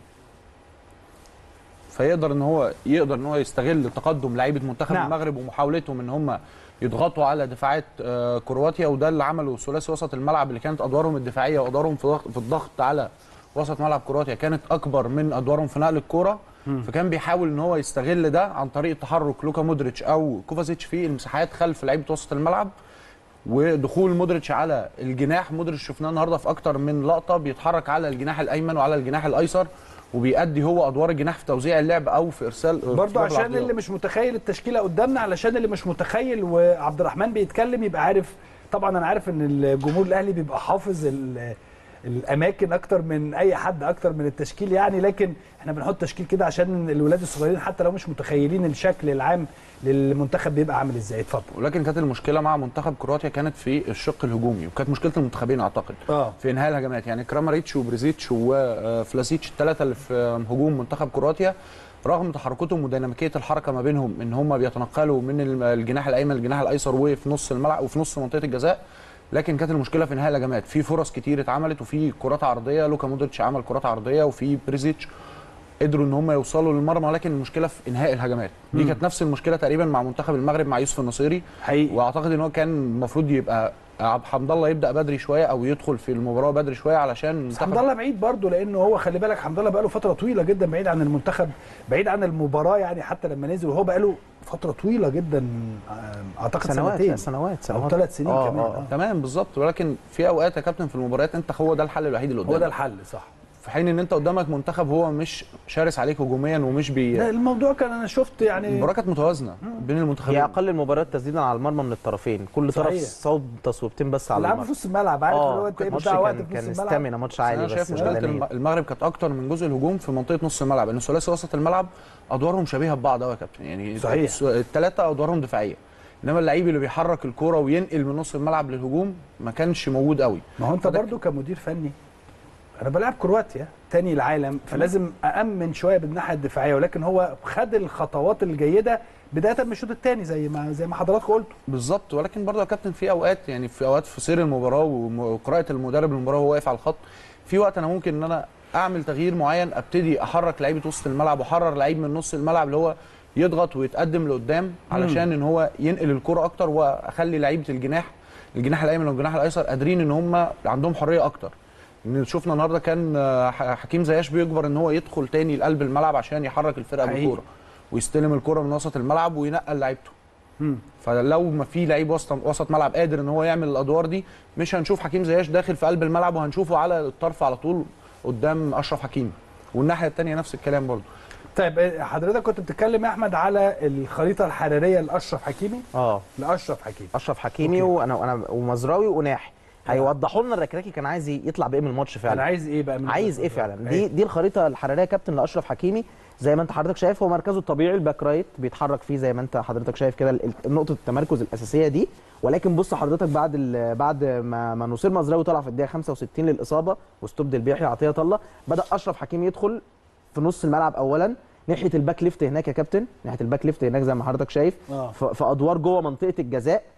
لو نجيب اللي بعدها بتاعت بتاعت عز الدين اناحي يعني بتاعت اناحي آه. مزراوي طبعا دي بتاعت بتاعت عز الدين اناحي ده لاعب وسط بيلعب سبعة أو ثمانية يعني يعني مقلوب كده بيرجع للمنطقة ورا حتى هو ما كانش الركراكي مستهدف إن يبقى يعني مع لما اتصاب عمران لوزه قبل البطولة يا كابتن اللي هو عنصر بيعرف يحط الكرة في رجله ويتحرك بيها ويشوف الملعب ويقابله بوشه بقت ال... ولما هيلاعب بلجيكا وكرواتيا اللي هي خصوم بتتفوق عليه في خط النص وفي المنطقة اللي قدام بقى لازم يلعب باثنين أقوياء جدا. اختياره كان الاثنين هو لسه جايبهم من المنتخب. لسه جايبهم من فرنسا من الأكاديميات الصغيرة ومستعد إن هو يراهن عليهم واثنين بيتميزوا بقوة بدنية عالية جدا. ده عز الدين أوناحي بيلعب المباراة الدولية العشره العشره بس ليه؟ دي خريطة مزراوي. ممكن نرجع بس لأوناحي ده back ده back left عادي كان بيلعب زي ما حضرتك شايف. والادوار عاديه لحد ما اتصاب في الدقيقه 65 النقطه اللي في نص الملعب دي النقطه اللي اتصاب فيها. يعني لما طلع نص الملعب اتعرض للاصابه وطلع يحيى عطية الله. لكن عز الدين أوناحي كان كل وظيفته اللي هو لاعب خط النص ان هو يحمي حكيمي تماما لأنه حكيمي بقى مطلوب منه. حضرتك عارف طبعا إن لو ال back right اتصاب أو ال back left الأساسي اتصاب. أكتر حد بيتضرر بدنيا هو الناحية الثانية الناحية التانية على الناحية طول. التانية لأن عنده تغطية عكسية اولا. لأن لو في دور هجومي مطالب إن أنا أعمله ك back right وال back ال left مصاب أنا عارف ان مفيش حد هيرحل معايا فانا نعم. متخيل ان ان ال back right وهو بيطلع ان ال back left مش هي مش هيقف ممكن يطلع معايا فنسبب مشكلة. ففي الوقت ده كان حل الركراكي ان آه، عز الدين أوناحي وسليم أملاح الناحية الثانية بيغطوا تماما حكيمي بيحموا حكيمي تماما. حكيمي مهما دخل ثنائيات مع كل لعيبة كرواتيا قدام أو ورا المعروف تماما إنه أكيد لو في لقطات كانت معانا صور كان ورا خالص بيرجع خالص أوناحي يلعب كأنه back right. في أوقات تانية من الماتش بتلاقي أوناحي بيغطي كمان ال- ال- ال- المهاجمين فدخل منطقة الجزاء أكتر من مرة وفي كور كده وكان هو خد قرار التصويب بجرأة ولكن ما ما ما, ما خدش قرار، ما آه. خدش قرار التصويب بالذات في الشوط الثاني في حالة في الدقيقة 68 تقريبا كان كان ممكن يتقدم للمغرب ولكن المعركة البدنية اللي هيئها وليد الركراكي لعيبه المغرب وحسسهم فعلا إن الفرق هيتعوض بكده فرق ال quality وفرق الإمكانيات وفرق التصنيف وفرق الروح ممكن يتعوض بكده. ممكن يتعوض إن أنا ألعب عليك ماتش بدني عالي جدا ما أمنعك تماما من إن أنت على الأقل تصوب عليا أو ان أنت تقرب من منطقتي. نعم. ولما قربوا في الشوط نهاية الشوط الأول من كراماريتش كان ياسين بونو بالمرصاد وجاهز ال back ات ده أعتقد يا أحمد كان بيتعامل مع خليلوزيتش قبل ما يجي الركراكي كان بيلعب طبعاً، لا، أنا- حكيمي back left ومزراوي كان هو ده- دي- دي- ويلعب بالطريقة العكسية إن هو يلعبوا كجناح عكسي. هي واجبات أساسية. طبعا هي واجبات أساسية أقصد يعني أنا يعني اقصد إن مش غريبة عليه لا؟ مش غريبة طبعا بس بقول لما يعني الموضوع بيكون مكثف جدا لما يبقى أيوة. عندك فرق إمكانيات عالي زي اللي بينك وبين كرواتيا طبعاً، زي بين طبعاً. المغرب وكرواتيا في فرق إمكانيات عالي بتبقى المهام اللي زي دي يا كابتن هي اللي هي التفاصيل اللي بتكسبك التفاصيل هي اللي الماتش بتك... صح بالظبط. طيب. لو اتكلمنا عن رجل المباراة آه، مودريتش وأرقام مودريتش آه، لأنها مودريتش يعني كنا كنا لسه بنتكلم إن هو خد رجل المباراة على الرغم من إن مثلا هناك أسماء أخرى أكثر على الأقل حققت المطلوب من المباراة يعني بالظبط كرواتيا. ما حققتش المطلوب من المباراة. بالظبط. فلو أرقام آه، مودريتش معانا اتفضل يا عبد الرحمن. أرقام مودريتش لعب آه، 100 دقيقة لعب المباراة كاملة مرر 75 تمريرة صحيحة من أصل 90 تمريرة 83% دقة التمرير. أعتقد شيء معتاد من لوكا مودريتش في السنوات الأخيرة إن دقة التمرير بتاعته تكون عالية. آه، التمريرات البينية الصحيحة صفر من ثلاثة العرضيات الصحيحه صفر من واحد. آه، مراوغاته 8 مراوغات من أصل 11 مراوغة. استخلص الكرة أربع مرات وقطع التمريرات خمس مرات. أعتقد الأرقام الدفاعية لمودريتش كانت أفضل من الأرقام الهجومية. رغم إن أنا شفته بيتحرك يعني من مشاهدتي المباراة كان بيتحرك بشكل أكبر في الجانب الهجومي. ولكن ده بيأكد برضه في أرقامه الدفاعية على إن كان آه، منتخب كرواتيا الأهم شيء بالنسبة له إن هو ما يستقبلش أهداف ما يمنحش منتخب المغرب السيطرة الكاملة على المباراة. وبعدين يجي الدور الهجومي لمودريتش ويجي الدور الهجومي لبقية الفريق. ياسين بونو أرقام ياسين بونو وهي برضو إن دلت فهي تدل على إن هو أدى ما عليه على الأقل بالظبط. يعني كان من الممكن أن يكون هو رجل هذه المباراة وإحنا اتعودنا الحقيقة معظم المنتخبات العربية رجل المباراة بيكون فيها حارس المرمى. حارس المرمى يعني أرقام آه، بونو آه، ثلاث تصديات آه، جت عليه ثلاث تصويبات تصدى ليهم آه، تصديات فائقه تصدي واحد اعترض عرضيتين و22 تمريرة صحيحة من 26 ونسبة تمريراته 85% ياسين بونو ت- تصدى لأكتر من كورة وكان في كورة في الشوط الثاني أعتقد كراماريتش. كراماريتش في الشوط كراماريتش، في 6 ياردة ماتش يعني الأول. كورة عرضية كانت من مودريتش وفي الستة ياردة لحق قدر إن هو يفرد جسمه بشكل كويس وتصدى للكورة يعني الكره دي بس اللي تخليه ياخد رجل المباراة مثلا يعني طبعا هي- هو انقذ هي- أنقذ نقطتين للمنتخب المغربي يعني صحيح. على الأقل خرج المنتخب المغرب بنقطة ممكن تساعده بعد كده في بقية البطولة يعني. طيب هنتكلم فنيا عن ألمانيا واليابان ولكن بعد هذا الفصل. ألمانيا وهزيمة قاسية الحقيقة من اليابان بعدما كانوا متقدمين بهدف ولكن ريمونتادا هل هي غريبة ولا مش غريبة؟ قول لنا أحمد. يعني هو هي ضجتها كبيرة جدا يا كابتن لأن طبعا. لو استعرضنا الأرقام اللي حصلت بعدها يعني مثلا دي أول خسارة لألمانيا رسميا من منتخبين آسيويين ورا بعض أول خسارة لألمانيا في نسخ آه، لمباراتين ورا بعض من 1982 أول آه، هزيمة آه، يعني أول مباراتين في دور المجموعات تهزمهم ألمانيا في مرة في يعني المرة اللي فاتت كانت في كوريا الجنوبية طلعت آه، في 2018 آخر الجولة الثالثه بدايتها به- بهزيمة ودي أول مرة تحصل في تاريخ ألمانيا على الإطلاق ان نعم. مباراتين ورا بعض في دوري المجموعات. فكل دي أرقام بتعبر عن ضجة ال- الهزيمة. ولكن اللي حصل في الشوط الأول إن ألمانيا دخلت المباراة بقوة شديدة جدا. يعني يعني كان ال- الموضوع يبدو إنه مرشح ل score عالي جدا.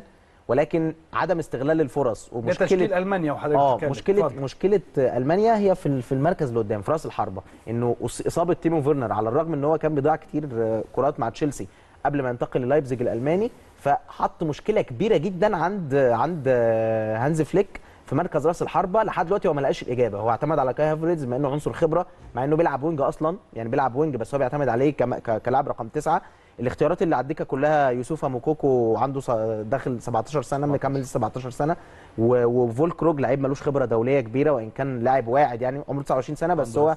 ما لعبش غير تسعة عنده إيه؟ هوفمان أعتقد. هوفمان ما بيلعبش تسعة صريح. آه، هو اعتماده كان على توماس. مولر أو على كاي هافريدز. فالمشكلة تجلت النهارده. إن ألمانيا وصلت للمرمى كتير جدا واحتاجت 1-0 ضربة جزاء من إلكاي جوندوجان. تخيلنا إن الشوط و- ومنيت برده الصراحة بسوء حظ كبير جدا إن كان في ثلاث كور في العارضة في في الشوط الثاني ولكن اليابان في الوقت اللي, اللي فعلا قررت إن هي تصعد الريتم ألمانيا ما, أبدتش مقاومة كتيره لأنه الكورتين اللي شاطوهم اليابان هي تاني وتالت فرصة. يعني في فرصة محققة فعلا نوير شالها في الدقيقة 72 74 ديت كانت تاني فرصة لليابان على طول. هي فرص قوية محققة فاليابان عرفت تتقدم وعرفت تصير الماتش زي ما هي عايزة. الهدف الثاني بتاع بتاع تاكومي أسانو هدف في منتهى الروعة من الاهداف اللي بتتظلم في ال- الاهداف اللي بتتظلم في الماتش. يعني ما فيهوش حركة عجيبة ولكن في control جامد جدا وفي آه، تسديد first time في الدقيقة. الكور دي بتبقى يعني underrated زي ما بيقولوا في في المسابقات المجمعة. ولكن آه، اليابان ما كانتش الطرف الأفضل في الماتش. عملت ماتش بطولي إنها تحافظ في وقت طويل على 1-0 دي دي دي اللي كانت دي اللي كان أهم شيء. الاثنين واحد دي زي ما كان يعني مكافأة صمود يعني مكافأة صمود واليابان عرفت تطلع بالماتش بأكتر من اللي عايزه ده يفسروا الفرحه الهستيرية اللي لعيبة اليابان بعد ال- الفوز على ألمانيا. فأعتقد إن الماتش كان ماشي في سكة ألمانيا للوقت اللي فعلا هم حسوا إن 1-0 كفاية. وهنا كان العقاب اللي الكرة بتعاقبه لكل حد بيظن خطا إن ده بيحصل يعني. هو كان قبل أشياء أخرى كثيرة جدا ولكن أيضا الحديث وإحنا بنتكلم عن هذه المباراة اليابان الحقيقة برضو زي ما أحمد قال قفلت كويس جدا لمدة آم، خمسة 74 75 دقيقة. وبعد كده ابتدينا نشوف يابان بشكل متغير. بالظبط يا كابتن. اليابان في الشوط الأولاني ما كانش في أفضل حالاته وكان المنتخب الألماني بسهولة جدا بيوصل للمرمى. مع بداية الشوط الثاني ابتدى الم- المدير الفني الياباني يعمل تغييرات وابتدى يحرك اللعيبه من وسط الملعب للهجوم. تشكيل اليابان برضو إحنا بنتكلم. وبدأ إن هو يتجرأ أكتر على منتخب ألمانيا. ولكن كانت مشكلة ألمانيا اتفق مع أحمد كات في مركز المهاجم. وإحنا معانا برضو ال- الخرائط الحرارية للثلاثي الهجومي للمنتخب الألماني. ألمانيا. كاي هافيرتس أول حالة معانا كان معانا الخريطة الحرارية ليه؟ هنشوف إن كاي هافيرتس يا كابتن ما دخلش منطقة الجزاء تقريبا من الخريطة الحرارية بتاعته لو شفناها مش هنلاقي فيه أي حركة ليه تذكر داخل المنطقة إلا حاجات بسيطة. بالظبط توماس مولر كان مطلوب منه إن هو يرجع دايما يدافع وسيرجي جنابري على طول مع فقدان الكرة بيرجعوا يدافعوا ويرجعوا يغطوا على لعيبة وسط الملعب لأن دايما كان اعتماد منتخب ألمانيا. دي معانا الخريطة الحرارية لتوماس مولر. لو تبص يا كابتن مفيش في منطقة الجزاء تقريبا غير دخوله من على الجنب ال- اليمين لمنطقة الجزاء اللي هي هنا تحت هنا. انت تحس ان مولر ما كانش بيلعب. لأن أغلب تحركاته كابتن في وسط الملعب. آه. هنا جنابري جنابري قدام نص الملعب بالظبط يعني. آه. آه. أكتر مكان اتحرك فيه جنب نص الملعب كأنه هو لعيب half مش لعيب جناح. ده لا مش دي دي ال- الأظهرة الظاهرين اليمين واليسار. في خريطة تانية. لا دي لسه شايفينها. لسه دي. دول الأظهرة ده ده آه، ده جندوجان ده ولا مين؟ ده جنابري ده جنابري okay آه جندوجان وعندنا جندوجان وكيميتش اعتقد آه دي برضو لا دي لسه دي و- الجنب كان آه. تحركهم إن هو دايما اعتماده في ال- في بس الشكل برضو ده. مش مش تحركات ظه- ظهراء جنب وجهة سولي. سولي ده يا كابتن مش ظهير أصلا سولي ده. بقلب دفاع وده. اتكلمنا عنه على مشكلة القلب دفاع الأسبوع اللي فات لو الأسبوع اللي تفتكر فات آه هو كان بيعتمد عليها يا كابتن هو الكورة مع كيميتش أو جندوجان بيستغل إن هو لعيبه المنتخب اليابان مركزين في قلب الملعب ومركزين مع الثلاثي الهجومي سواء أهو. كاي هافيرتز مفيش تقريبا وجود خالص يا كابتن في منطقة الجزاء. هو لو لو وجود له في في وسط الملعب مفيش. هو بيعتمد على إن هو في مداورة ما بين ثلاثي الهجوم سواء آه، توماس مولر أو سيرجي جنابري وكاي هافيرتز ولكن كان لابد إن دايما في كل الهجمات تلاقي لعيب في قلب الملعب. ده ما كانش بيحصل في منطقة الجزاء. نعم. ده طبعا سببه غياب آه، تيمو فيرنر ورغم إن هو كان بيضيع كتير فعلا ولكن كان محتاج إن هو لعيب مهاجم صريح. واعتمد في طريقته الهجومية على تحركات جوشوا كيميتش وإلكاي جندوجان إن هم دايما بيزيدوا ودايما هم اللي بيحركوا الفرقة. فلما نشوف في الخرائط الحرارية بتاعت ظهيرين الجنب ليه هم تحركاتهم عالية كده لأن هو بيعتمد على تسا... امتلاك الكره ل- لثنائي وسط الملعب وحركة ظهيرين الجنب خلف دفاعات آه اليابان. إن هو بيبدأ إن هو دفاع اليابان بينكمش في قلب الملعب عشان يقفل المساحات على هجوم ألمانيا سواء جمال موسيالا أو مولر أو جنابري وكاي هافيرتز فبيضطر إن هو ينكمش يبقى في مساحات خلف ظاهرين الجنب يقدر من خلالها إن هو آه، ديفيد روم أو آه، سولي إن هم يتحركوا ويدخلوا جوه منطقة الجزاء ويعملوا خطورة على دفاعات اليابان. طيب. عايز تقول إيه تاني؟ دفاع المنتخب الألماني هو سبب المشكلة الكبيرة النهارده. مم. يعني في السنوات الأخيرة المنتخب الألماني عفوا المنتخب الألماني بيدافع في آخر كام سنة بشكل سيء جدا رغم إن قبل كده هو المشكلة في مشكلة مشتركة هو بطء قلوب الدفاع سواء قبل كده مع هوملز أو مع آه، جيروم بواتينج كانوا لعيبة بطيئه لعيبة ما عندهاش إمكانية السرعة والحركة بسرعة لكن بيقدروا يقروا اللعب وبيقدروا يقروا الهجمات لما ابتدى ده يقل وجودة المدافعين تقل يعني أنطونيو روديجير في رأيي الشخصي هو مدافع لا يستحق إنه يكون في ريال مدريد أصلا مدافع أقل من العادي أنا بتفق معاه جدا في الموضوع ده و- وإحنا بنتكلم وبرهان الأرقام المباراة. برهان الأرقام كمان ألمانيا بتستقبل لأول مرة في تاريخها في 10 ماتشات متتالية أهداف. لاول مرة في تاريخها في- أقصد في المسابقات الكبرى. أول مرة في تاريخها أسبانيا ألمانيا تعمل 10 ما فيش clean sheet 10 ماتشات ما فيهمش ولا clean sheet okay. مسألة الدفاع في ألمانيا فعلا آه، highlight جامدة جدا عندنا فعلا. صور حالات من المباراة للأخطاء دفاعيه لعيبه آه، ال- الالمانيا لو نقدر نجيبها. في ال- الصور بتاعت الأخطاء يا شباب لو سمحتوا. اتفضل. بنشوف بقى في حالات من لعيبة منتخب اليابان مع امتلاكهم الكورة في وسط الملعب. وتحركات اللعيبه خلف دفاعات ألمانيا دايما كان في مشكلة. إن دايما في الرقابة الفردية بين أنطونيو روديجير أو آه، شلوتربيرج مع لعيبة منتخب اليابان والرقابة ومع انطلاق انطلاقات ظهيرين الجنب يا كابتن كانت بتسبب مشاكل لأن سولي أو ديفيد راوم مش لعيبة سريعة برضو يعني سولي حتى هو مدافع مدافع بني- بنية جسدية قوية. الكرة دي يا كابتن أهي في بدايتها لعيب منتخب اليابان داخل من قلب الملعب وبيتحرك حضرتك تشوف في كام لعيب فاضي جوه منطقة الجزاء في لعيب ورا ال back. right آه. هناك في لعيب على ال 18 عمرنا ما كنا بنشوف ألمانيا كده وفي لعيب سابق المدافع يعني هو لو صحيح. الكرة راحت له المدافع يا إما هيضربه ياخد بينالتي يا إما يسيبه ويحط جول في كور تانية في برضه هجمات تانية بتبين الأخطاء طبعاً، دي لا طبعاً. في الصورة قبل دي بداية الهجمة دي تمام اللي هو اللعيب بيلعب في لعيب بي- بيلعب الكرة ال over من ورا المدافعين. من وسط الملعب احكيها لنا برضو لغاية لما جابوا لنا هي الكرة الصور اللعيب في الآخر. يعني. لا دي برضو كرة عرضية تانية. تمام. كنا برضو نتكلم عليها واللعيب كره عرضيه حضرتك تشوف في لعيب على منطقة ال 18 على الدايرة بتاعة 18 في لعيب ورا ال back left فاضي وفي اثنين لعيبة انت موجودين. هنا بتقصد إن عدد المهاجمين اليابانيين أكتر من عدد مش المدافعين. أكتر بس تمركز لعيبه المنتخب ألمانيا سيء. سيء. يعني اللي جنب الحكم ده على فكرة توماس مولر. ياه. اللي جوه المنطقة أعتقد اللي هو في الأول ده ده جنابري. لو جنابري بيرجع. فانت بت- بتجبر اللعيبة المهاجمة إن هي تقدر إن هي ترجع تاني لآخر الملعب عشان تدافع. بس التمركز سيء. يعني الكره الكره دي. لو مع منتخب أسبانيا الكره دي جون 100% لو مع منتخب زي منتخب أسبانيا الكره دي جون 100% في كرة تانية برضو مرتبطة بشغل منتخب أسبانيا عمله النهارده. يعني الهجمة الثانية اللي بتكلم عليها لعيب منتخب اليابان بيمتلك الكره في وسط الملعب وعمل إسكان وبص شاف زمايله فين؟ ولعب الكورة ظهر في ظهر مدافعين آه، ألمانيا.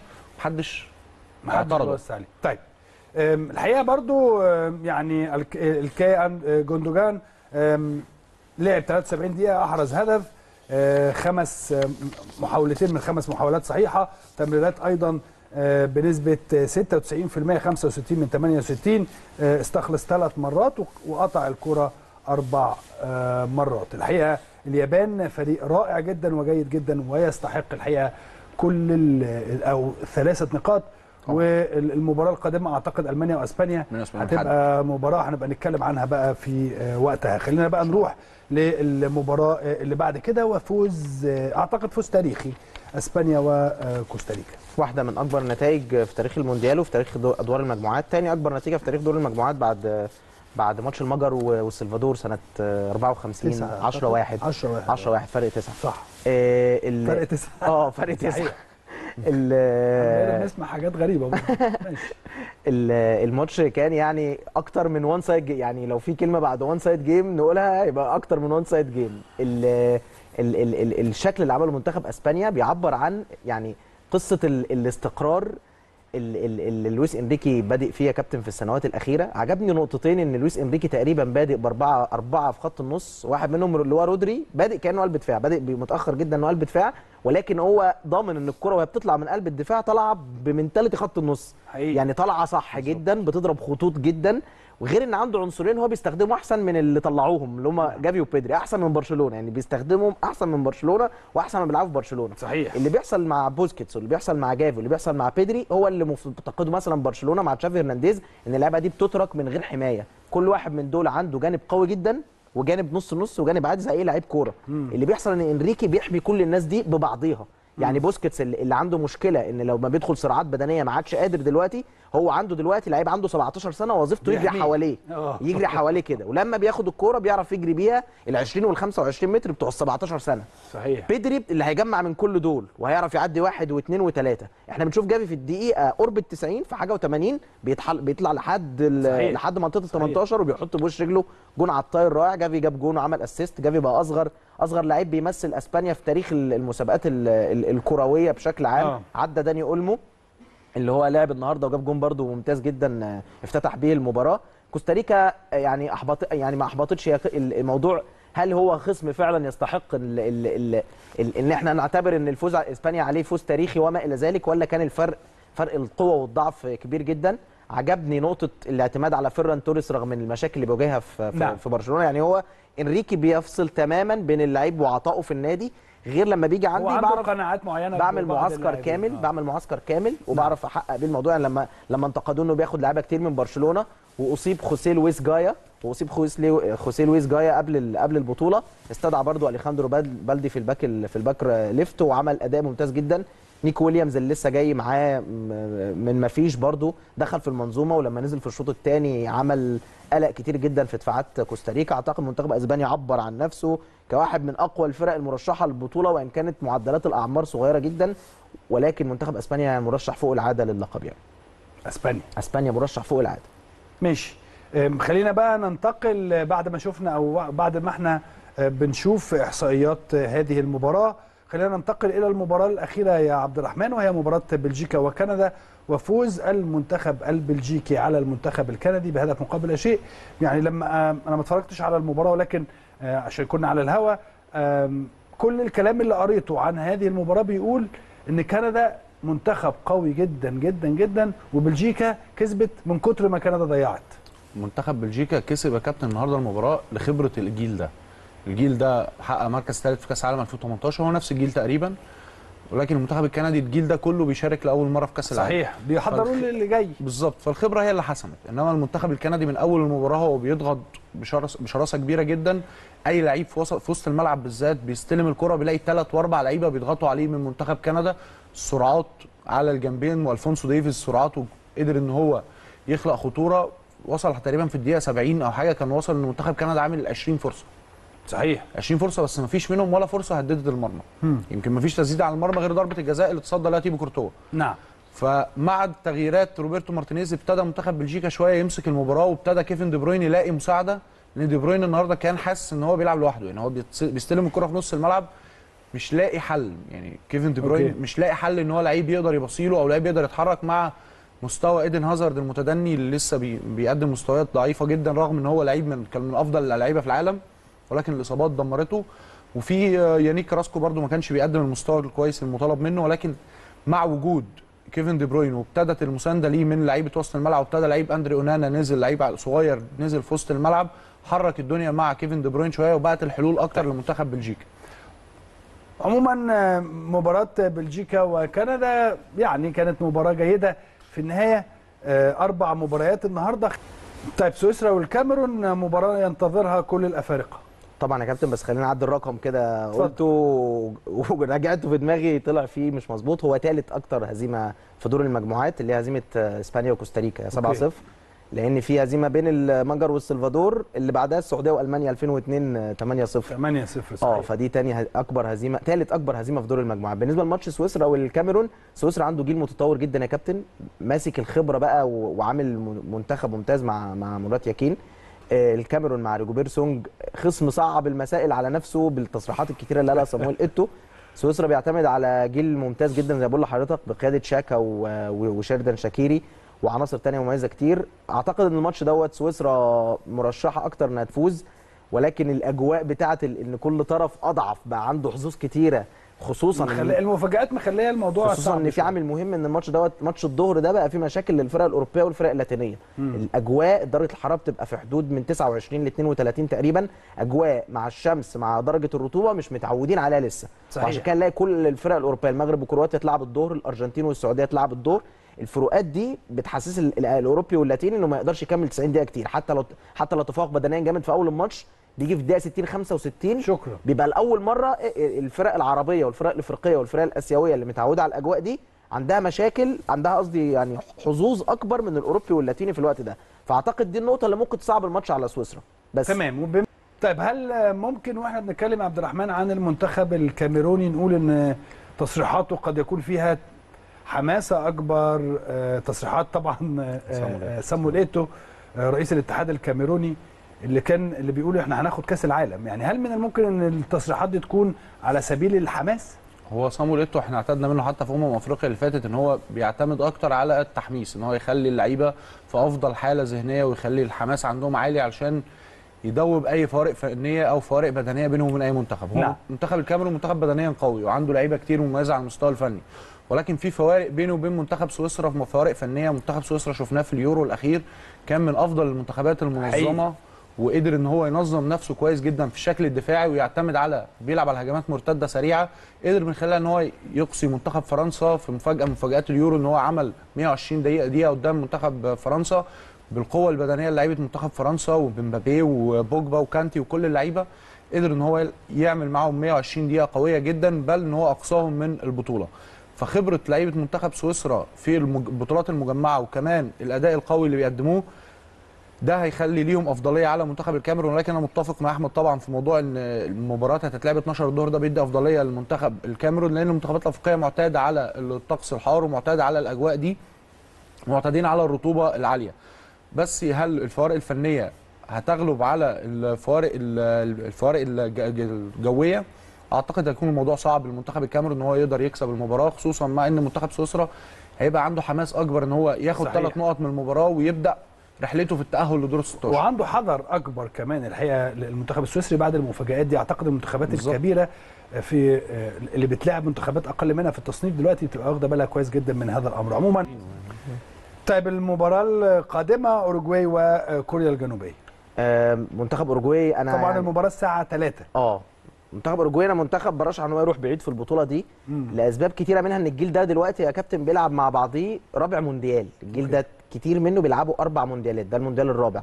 الجيل ده يعني بي زي ما بيقولوا شمس و- 16 سنة يعني؟ بقى لهم لا لعبوا 10 14 18 22 الجيل اللي هو خد مع آه 16 سنة يعني. 12 سنة sorry، 12 12 سنة سنه 12 سنة. 3 ب 12 الجيل ده اللي اتشكل مع أوسكار تاباريز بداية لا أوسكار تاباريز كان ماسك كل القطا... كل كل المنتخبات الاوروجوانيه كان ماسكها تاباريز من أول المنتخب الأولمبي خد المنتخب ده من هم في 2004 عشان يراهن بيهم إنه يلعبوا كوبا أمريكا 2010 2011 بالفعل عرف يحقق كوبا أمريكا معاهم في 2011 الجيل ده كان أوله سواريز وأوله كافاني وأوله دي أراسكايتا وأوله دييجو جودين. الناس دي بتخلص دلوقتي كورة. فمدعومين بقى بعناصر كتيرة صغيرة زي فيدريكو فالفيردي زي فيتسينو مارتن كازرس مع الجيل القديم. مدعومين باسماء زي داروين نونيز زي أسماء كتيرة جدا. أعتقد انها مخليها أوروجواي داخلة المونديال دوت وكل شيء مهيأ تماما إنها تعمل ماتشات كبيرة. المجموعة دي بشكل عام مجموعة معقدة جدا. اوروجواي طلعت البرتغال لكأس العالم اللي فات غانا طلعت البرتغال 2014 كوريا الجنوبية طلعت البرتغال 2002 آه. البرتغال عندها مشكلة بالذات دلوقتي مع مع يعني مع اللي حصل مع رونالدو آه، يوم أمس فسخ تعاقده مع مانشستر يونايتد بشكل رسمي. كل ده هيخلي ماتش اوروجواي آه، يعني اوروجواي يعني عايزة تاخد فعلا الست نقاط بره البرتغال. تاخد الست نقاط من غانا ومن وطبعا أهم ثأر في المجموعة دي ثأر غانا وأوروجواي بسبب آه، لويس سواريز الكرة اللي بالإيد الشهيرة. آه. فالمجموعة معقدة جدا جدا جدا ومركبة. سواريز بيلعب حاليا من غير نادي. آه، يعني سواريز داخل البطولة من غير نادي تماما. منتظر إن هو يعمل خطوة في الخليج بس عندهم نجم فوق العادة زي فيدريكو فالفيردي واحد من أهم اللاعبين في العالم دلوقتي. مش لاعبي الوسط ولا. اللاعبين الواعدين هو واحد من أفضل اللاعبين في العالم. فأعتقد منتخب أوروجواي جاهز إن هو يقدم ماتشات كبيرة. منتخب كوريا منتخب مش سهل برضه ما عنده عناصر زي سون هيونج مين وزي آه، كانج إن خلص على كابتن إيهاب جلال. آه. منتخب كوريا. آه. عنده عناصر ممتازة جدا جدا. عندها سرعات عالية جدا يا كابتن. بي بي عندهم أداء بدني عالي جدا. أعتقد قادرين إن هم يرهقوا الأوروجواي ولكن أنا متخيل الأوروجواي قادرة إن هي تحقق النقاط الثلاثة من الماتش. البرتغال وغانا. آه، مباراة البرتغال وغانا الساعة 6 طبعا. آه الساعة 6 في أفضلية لمنتخب البرتغال للأسماء واللعيبة الموجودة وفرق الجودة تاني طبعاً. لاعب أهو من غير نادي. كريستيانو رونالدو الأوروجواي- من غير نادي ولكن تصريحات لعيبة المنتخب البرتغال في المو... في الأيام اللي فاتت كلها بتقول إن إحنا بنح- بيحاولوا يداروا على إن في مشكلة. يعني هو واضح ليه بيداروا؟ ما هم بيقولوا كده. هو هو ب- في مشكلة داخل برونو المنتخب يعني هو كريستيانو رونالدو قال مفيش مشكلة. برونو صحيح. آه خرج برناردو سيلفا قال مفيش مشكلة وإحنا ما شفناش حاجة ورونالدو بيهزر مع برونو وكل حاجة ولكن الشكل والفيديو اللي شفناه ما يقولش إن في إن دي طريقة هزار بين اثنين لعيبة. الصحفيين أنتوا كده. أنتوا دايما لا لا هي آه. هو يا الفيديو- بنشوفه يعني لما تشوف اثنين لعيبة ولعيب ال- خرج التقارير بعد حوار كريستيانو رونالدو مع بيرس مورجان إن لعيبة مانشستر يونايتد غضبانة منه ومتضايقة من الكلام اللي هو قاله. فبعدها على طول نشوف الفيديو بين رونالدو وبين آه، برونو فرنانديز. تاني يوم نشوف رونالدو وجواو كانسيلو. رونالدو بيسلم على كانسيلو وبيشد من ازره وكانسيلو تقريبا زقه. يعني اللي هو ما زقوش أو اللي هو إيه ساكت ما بيردش عليه وما بيدوش أي أي رد فعل. ده عكس اللي كان بيحصل قبل كده مع منتخب البرتغال ومع كريستيانو رونالدو بالذات لأن كريستيانو كان بيتعامل مع اللعيبة دي إن هو القائد وهو اللي لامم اللعيبة حواليه وما زال وبيحتضنهم وما زال وما زال طبعا. ولكن هو الفكرة دلوقتي إن لازم رونالدو واللعيبة يبدأوا يتخطوا فكرة مانشستر يونايتد ويبتدوا يتعاملوا أو يتسامحوا مع رونالدو في فكرة إن هو الحوار رونالدو خلال التصفيات طبعا. اتفضل. آه. فكريستيانو رونالدو واحد من أهم اللعيبة في تاريخ كرة القدم ولكن أنا شايف بشكل شخصي الحوار اللي حصل مع بيرس مورجان وتوقيت إجراء الحوار أو توقيت نشر الحوار كان خاطئ يعني ده مش وقت إن أنت تبتدي تتكلم عن نادي هو وأنت بتلعب آخر كأس عالم ليك هو عمل اللي هو عايزه تمام هو عايز يمشي وهو حديدي هو رجل حديدي هو قال. كده أنا رجل آه، لابس مضاد نعم؟ للرصاص. مضاد للرصاص مضاد. للرصاص وبالتالي أنا ما بتفرقش معايا كل هذه الأمور وبالتالي هو عارف كويس جدا إن هو ما يطلع يقول الكلام ده إن هناك إعصار كبير جدا اللي أنا عرفته بقى لما قريت بعض التقارير في بعض ال ال الجرايد في آه، إنجلترا اتكلموا عن أن هناك كان هناك اختلاف كبير جدا عن خروج كريستيانو رونالدو من مانشستر يونايتد في. آه، جانيو في شهر يناير ولكن آه، لأن هو عشان يجبرهم إن هم إن هم يمشوه بدون ما يكون عليه فلوس أو هم يعملوا ياخدوا منه حاجة عمل الحوار ده. سواء- وبالتالي هو مخطط هو مخطط لهذه طبعا الطريقة. وهو ما عملش كده يا كابتن إلا لما بدأ إن هو خلاص أنا في نادي تقريبا هو أتم الاتفاق معاه ونيوكاسل تهيألي وغالبا نيوكاسل. أتم الاتفاق مع النادي وخلاص. وظبط أموره كلها لأن هو في الصيف اللي فات رونالدو كان متاح. تقريبا ما فيش نادي في العالم قبله. ما فيش نادي وافق إن هو يدفع الراتب الخاص بكريستيانو رونالدو. كمان إن أنت عندك لعيب عنده 38 سنة وعايز يشارك بشكل أساسي طول الوقت وعايز الفرقة كلها تشتغل عليه.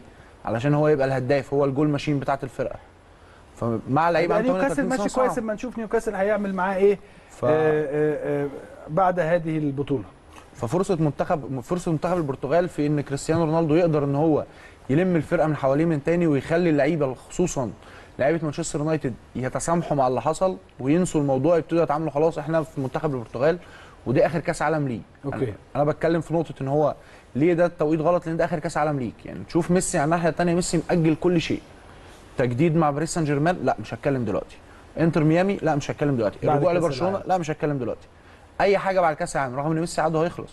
طب ما هو كريستيانو قال لك بعد كأس العالم برضه. مأجل كل هو. طبيعي كريستيانو كابتن هو- كريستيانو risky عن ميسي. يعني كريستيانو. كشخص risky. جدا عن ميسي لأنه صحيح. طبيعة النشأة كمان اختلفت. يعني مختلفة في الاثنين أنا بتكلم عن النشأة الكروية يعني إنه لعيب طالع من أكاديمية صغيرة زي سبورتنج لشبونه صغيرة مش مش مش صغيرة بالنسبة لل category A في أوروبا يعني ال level A في أوروبا سبورتنج لشبونه نادي متوسط فعلى طول من هو صغير بيفكر في تنقلات بيفكر آخد خطوة فين مانشستر يونايتد وأرسنال بيتخانقوا عليه وعنده 17 سنة فهاخد أروح مانشستر يونايتد ريال مدريد وهو واخد دوري أبطال أوروبا بيعلن للجمهور إنه ماشي ورايح يوفنتوس يوفنتوس الموسم بيبدأ بيروح مانشستر يونايتد بعد ما. كان رايح يمضي في مانشستر سيتي فهي طبيعة رونالدو إنه risky واللي بيحصل ده يا كابتن أنا أنا واحد يعني أزعم إن أنا متتبع لمسيره كريستيانو رونالدو ال- ال- بره الملعب بشكل دقيق رونالدو بيعمل حاجة من بيصعد الضغط على نفسه لأقصى درجة. دي صحيح. الطريقة اللي بيدخل هو نفسه فيها في ال mood.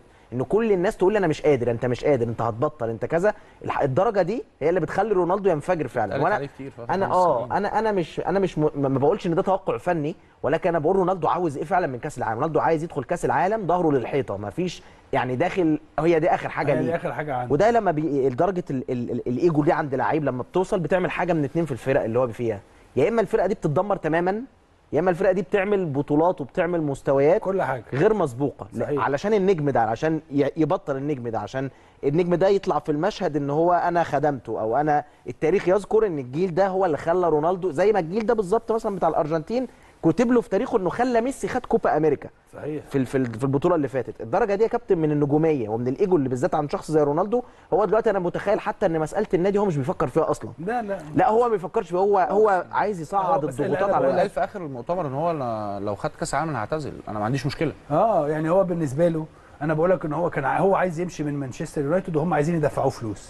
مش هتبقى الموضوع يعني في أيوه. أيوه هو في 16 مليون كانوا متفقين عليهم كبند. بتاع شرط جزاء هو عايز. ياخدهم وده مش بس عايز خد يدفعهم. عقده على فكرة هو كان شرط بند ان مهما حصل أي خلاف بيني آه. وبينكم العقد. آخر العقد بتاع آخر سنة معايا بالظبط الفكرة كده إن كل الكلام اللي قاله على مانشستر يونايتد صحيح 100% كل اللي قاله على اللي بيحصل في الإدارة صحيح 100% وقالوا كل اللعيبة من عشان. كده إيه الموضوع المشكلة بمنتهى البساطة ال ال ال ال أنا بعتبر رونالدو مؤسسة المؤسستين رونالدو المصالح. ومانشستر يونايتد قعدوا مع بعض. لا واتفقوا على إيه؟ أنت لو فجأة تلاقي الموضوع خلص واتفاق بالتراضي. بس أنت ما تتكلمش وأنا مش هتكلم. خلاص. هو بصراحة يعني. والجليزرز النهارده نعم. على- في تقارير إن العائله المالكة خلاص هتعرض النادي للبيع.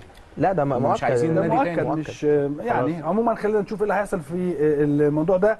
خلال الفترة اللي جاية البرتغال وغانا مين يكسب؟ آخر مباراة الأول نتكلم عنها البرازيل وصربيا. البرازيل وصربيا مع في واحد تاني برضو بيستعد للرحيل اللي هو ليوناردو باتشي تيتي بي غالبا بي بينهي مسيرته التدريبية على وجه الإطلاق يعني وبالأكيد إن هو هينهيها مع البرازيل.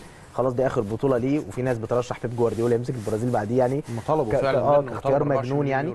بس الجيل اللي تيتي عرف يخلي بيه البرازيل منتخب جاد ده بيصطدم دلوقتي بآخر بطولة لتيتي. الجيل ده بيتميز عن كل أجيال البرازيل عبر التاريخ إنه جيل جاد جدا. صحيح. وده عمره ما كان في البرازيل. حتى في, أقوى الفترات التاريخية للبرازيل بتلاقيهم مكونين من نجوم زي دينيلسون وزي رونالدينيو اللي هي اللعيبة اللي بتقعد أربع خمس سنين في ال peak بتاعها وبعد كده. بتنزل بينزل مستواها الجيل ده بتتكلم دلوقتي في نيمار الموسم السابع أو الثامن هو واحد من أفضل اللاعبين في العالم بغض النظر عن أي مؤاخذات تانية لجديته ولكن هو المؤكد إنه بينزل الموسم بيجيب 20 جون وبيعمل 20 assist وبيعمل ماشي في نفس السياق الرقمي سواء مع برشلونة أو مع البي اس جي آه، اخترت اختيارات طبعا لأنه لما تبقى عندك قماشة زي 250 300 لعيب كلهم class A. فتختار منهم 25 أو 26 لعيب فغالبا الاختيارات بتاعتك أكيد هيبقى فيها مفاجآت. مفاجأة فيرمينو دي كانت مفاجأة بالنسبة لي وأنا ما يعني حاسس إن ال risk ده risk كبير إن أنت على الأقل تدخل خط الهجوم. حقيقي. تدخل تدخل آه، بطولة كأس عالم وأنت عندك عنصر غير إنه أساسي وغير إنه خبير. أنت قررت إن أنت تلغي ال profile بتاعه من الفرقة. ده الوحيد اللي يعني فيرمينو هو الوحيد اللي فيرمينو في البرازيل. انما انت عندك مارتينيلي وعندك جابريل جيسوس في منهم بدايل كتير. يعني يعني لو بتتكلم على مستوى الاظهره عندك انتوني هو رافينيا. انتوني هو رافينيا وإن كان ممكن ال quality أو الخبرة الدولية رافينيا. تساعد رافينيا شوية. نيمار هو فينيسيوس جونيور مارتينيلي هو جابريل جيسوس. ولكن احتفظ بعنصر واحد لنفسك يكون مختلف. مختلف بتا... اللي هو فعلا لما لما الخصوم يدرسوك صح أو الخصوم يقرروا يعملوا خطة يقفلوك ده يبقى حل. وده اللي بيعمله يورجن كلوب السنة دي مع فيرمينو. فيرمينو على الرغم إن هو مش عنصر أساسي في ليفربول في أوقات كتيرة ولكن أرقامه في منتهى في منتهى القوة. جايب ست جوان وعامل تسع assist وهو مش دايما عنصر أساسي. يعني هو كان بقى عنصر أساسي في الفترة اللي داروين نونيز ات- اتوقف فيها وديجو صحيح. جوتا كان عنده مشاكل بدنية. ولكن أنا كنت مع إن خطوة فيرمينو دي يعني غريبة جدا risky جدا. عنده بقى أسماء حدث ولا حرج في خط النص كمان. عنده حاجة، آه، عنده يعني. فابينيو عنده كازيميرو عنده عناصر خبيرة. المشكلة الكبرى عندي في قلبين الدفاع مش علشان ال quality بتاع تياجو سيلفا وماركينيوس وحشة ولكن سن. لأنه السن ولأنه هو مجبر عليهم يعني برضو. بقى مركز ثقل في الفرقة. لا عنده عنصر اسمه بريمير مثلا. ما بيلعبش اساسي في ما يوفنتوس سمعته. آه ما بيلعبش اساسي في, في, في يوفنتوس بس لعيب مدافع واعد جدا جدا جدا. هل هياخد ال risk ويغامر بيه؟ ولكن لو لعب بتياجو سيلفا وماركينيوس يبقى في مشكلة فعلا لما تواجه الم... مش هتواجهها مع صربيا مش هتواجهها مع الكاميرون ممكن ما تواجههاش كتير قدام الأوروجواي اللي خايفة منك أساسا دايما بتنزل مقدرة من البرازيل بتاعه أمريكا الجنوبية. ولكن لما تلعب خصم أوروبي قوي زي أسبانيا ولا حاجة لأ هيبقى لما تلعب عناصر كلها مشكلة صغيرة تعمل لك جدا. مشكلة كبيرة. طيب آه الأربع مباريات ال- ال- المباراة الأولى سويسرا والكاميرون مين يكسب؟ آه سويسرا 2-1 2-1 كمان؟ ماشي يا سيدي. أوروجواي وكوريا الجنوبية؟ بتخيل أوروجواي. أوروجواي مرشح للفوز مش هتقول؟ لا ما بحبش أنا البرتغال وغانا؟ البرتغال وبعدين كام كام؟ بعدين. كام؟ 1-0 1-0 البرتغال إن شاء الله. مين اللي هيجيبه؟ كريستيانو رونالدو. برازيل وصربيا. 2-0 بقى البرازيل. يا وش آه يعني. آه يعني عموما لا يعني فوز آه، برازيل إن شاء الله فوز برازيل. استمتعت بوجودكم آه، معايا آه، النهارده. أنا بشكركم شكرا جزيلا. بشكرك يا أحمد على وجودك معانا. شكرا عبد الرحمن على وجودكم. معانا. أنا بشكر حضراتكم. شكرا جزيلا. كانت هذه هي إطلالة على مباريات النهارده كلها بالكامل وآخر أخبار الكواليس المونديال وأيضا آه، إطلالة عن مباريات غدا وأهم الأرقام وأهم الفرق ال- أو أهم المنتخبات اللي هتلعب بكرة. كانت هذه هي حلقة نهاية الأسبوع. إن شاء الله ألتقي مع حضراتكم يوم الأحد القادم وحلقة جديدة من البيت الكبير.